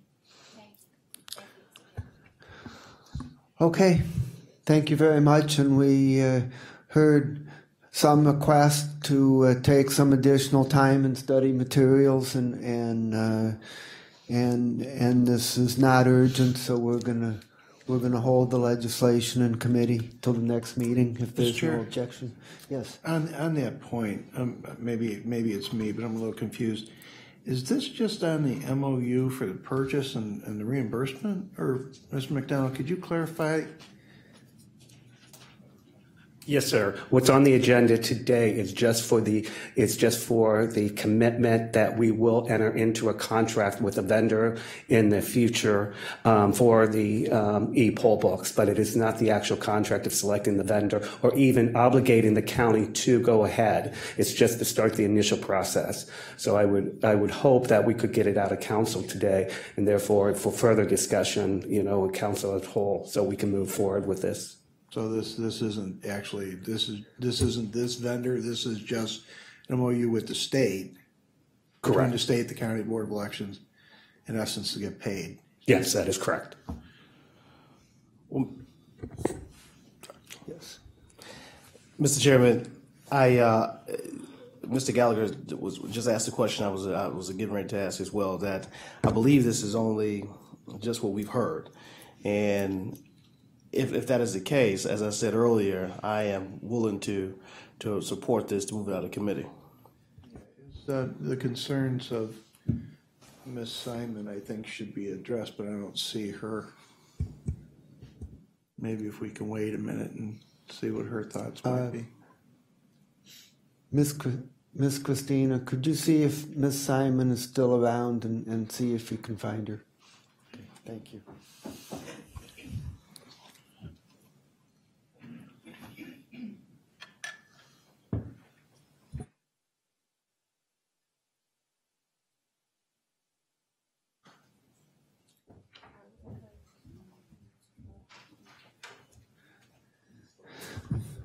Uh,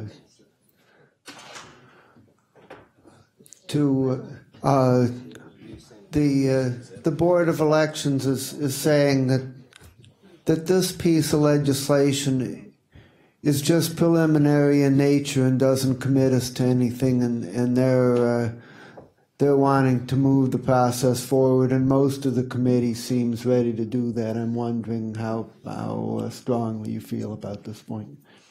You know, that's fine if the committee wants to move it, but I've got concerns about the paper backup to this, so that's something I'm going to be, have to look at here. I thought that was one of the most salient points, so. Uh, I think I would I would ask my committee. There, there's uh, there's no urgency, and I think Ms. Simon's request should be respected. Are, are people okay with that? No, you can move it, you can move it forward, that's fine, as long as, you know, it's the contract that matters. So the MOU is with this particular vendor, or? No, not at all. Right, that's why it's okay to move forward then. You okay with that? Mm-hmm. Okay, fine. Do we have a motion? Do, we- and do we need second reading suspension or, or, or is three readings okay? Sean, what was? Three readings. Three readings is fine for us. Okay, so the, uh, the motion, it's been moved and seconded. The motion is to refer the uh, legislation for second reading at the next council meeting, and it would go for third reading at the following council meeting after that. Any further discussion? Hearing none, all those in favor say aye. Aye. Any opposed, say no. The ayes have it, and the resolution is recommended to the full council for second reading. Great. Thank you all. Okay. Has, uh, has any, any miscellaneous business? Anyone signed in for public comment? No, Mr. Chair, no one has signed in. Is there a motion to adjourn? Second. All those in favor say aye. Aye. Opposed? Thank you very much, everybody.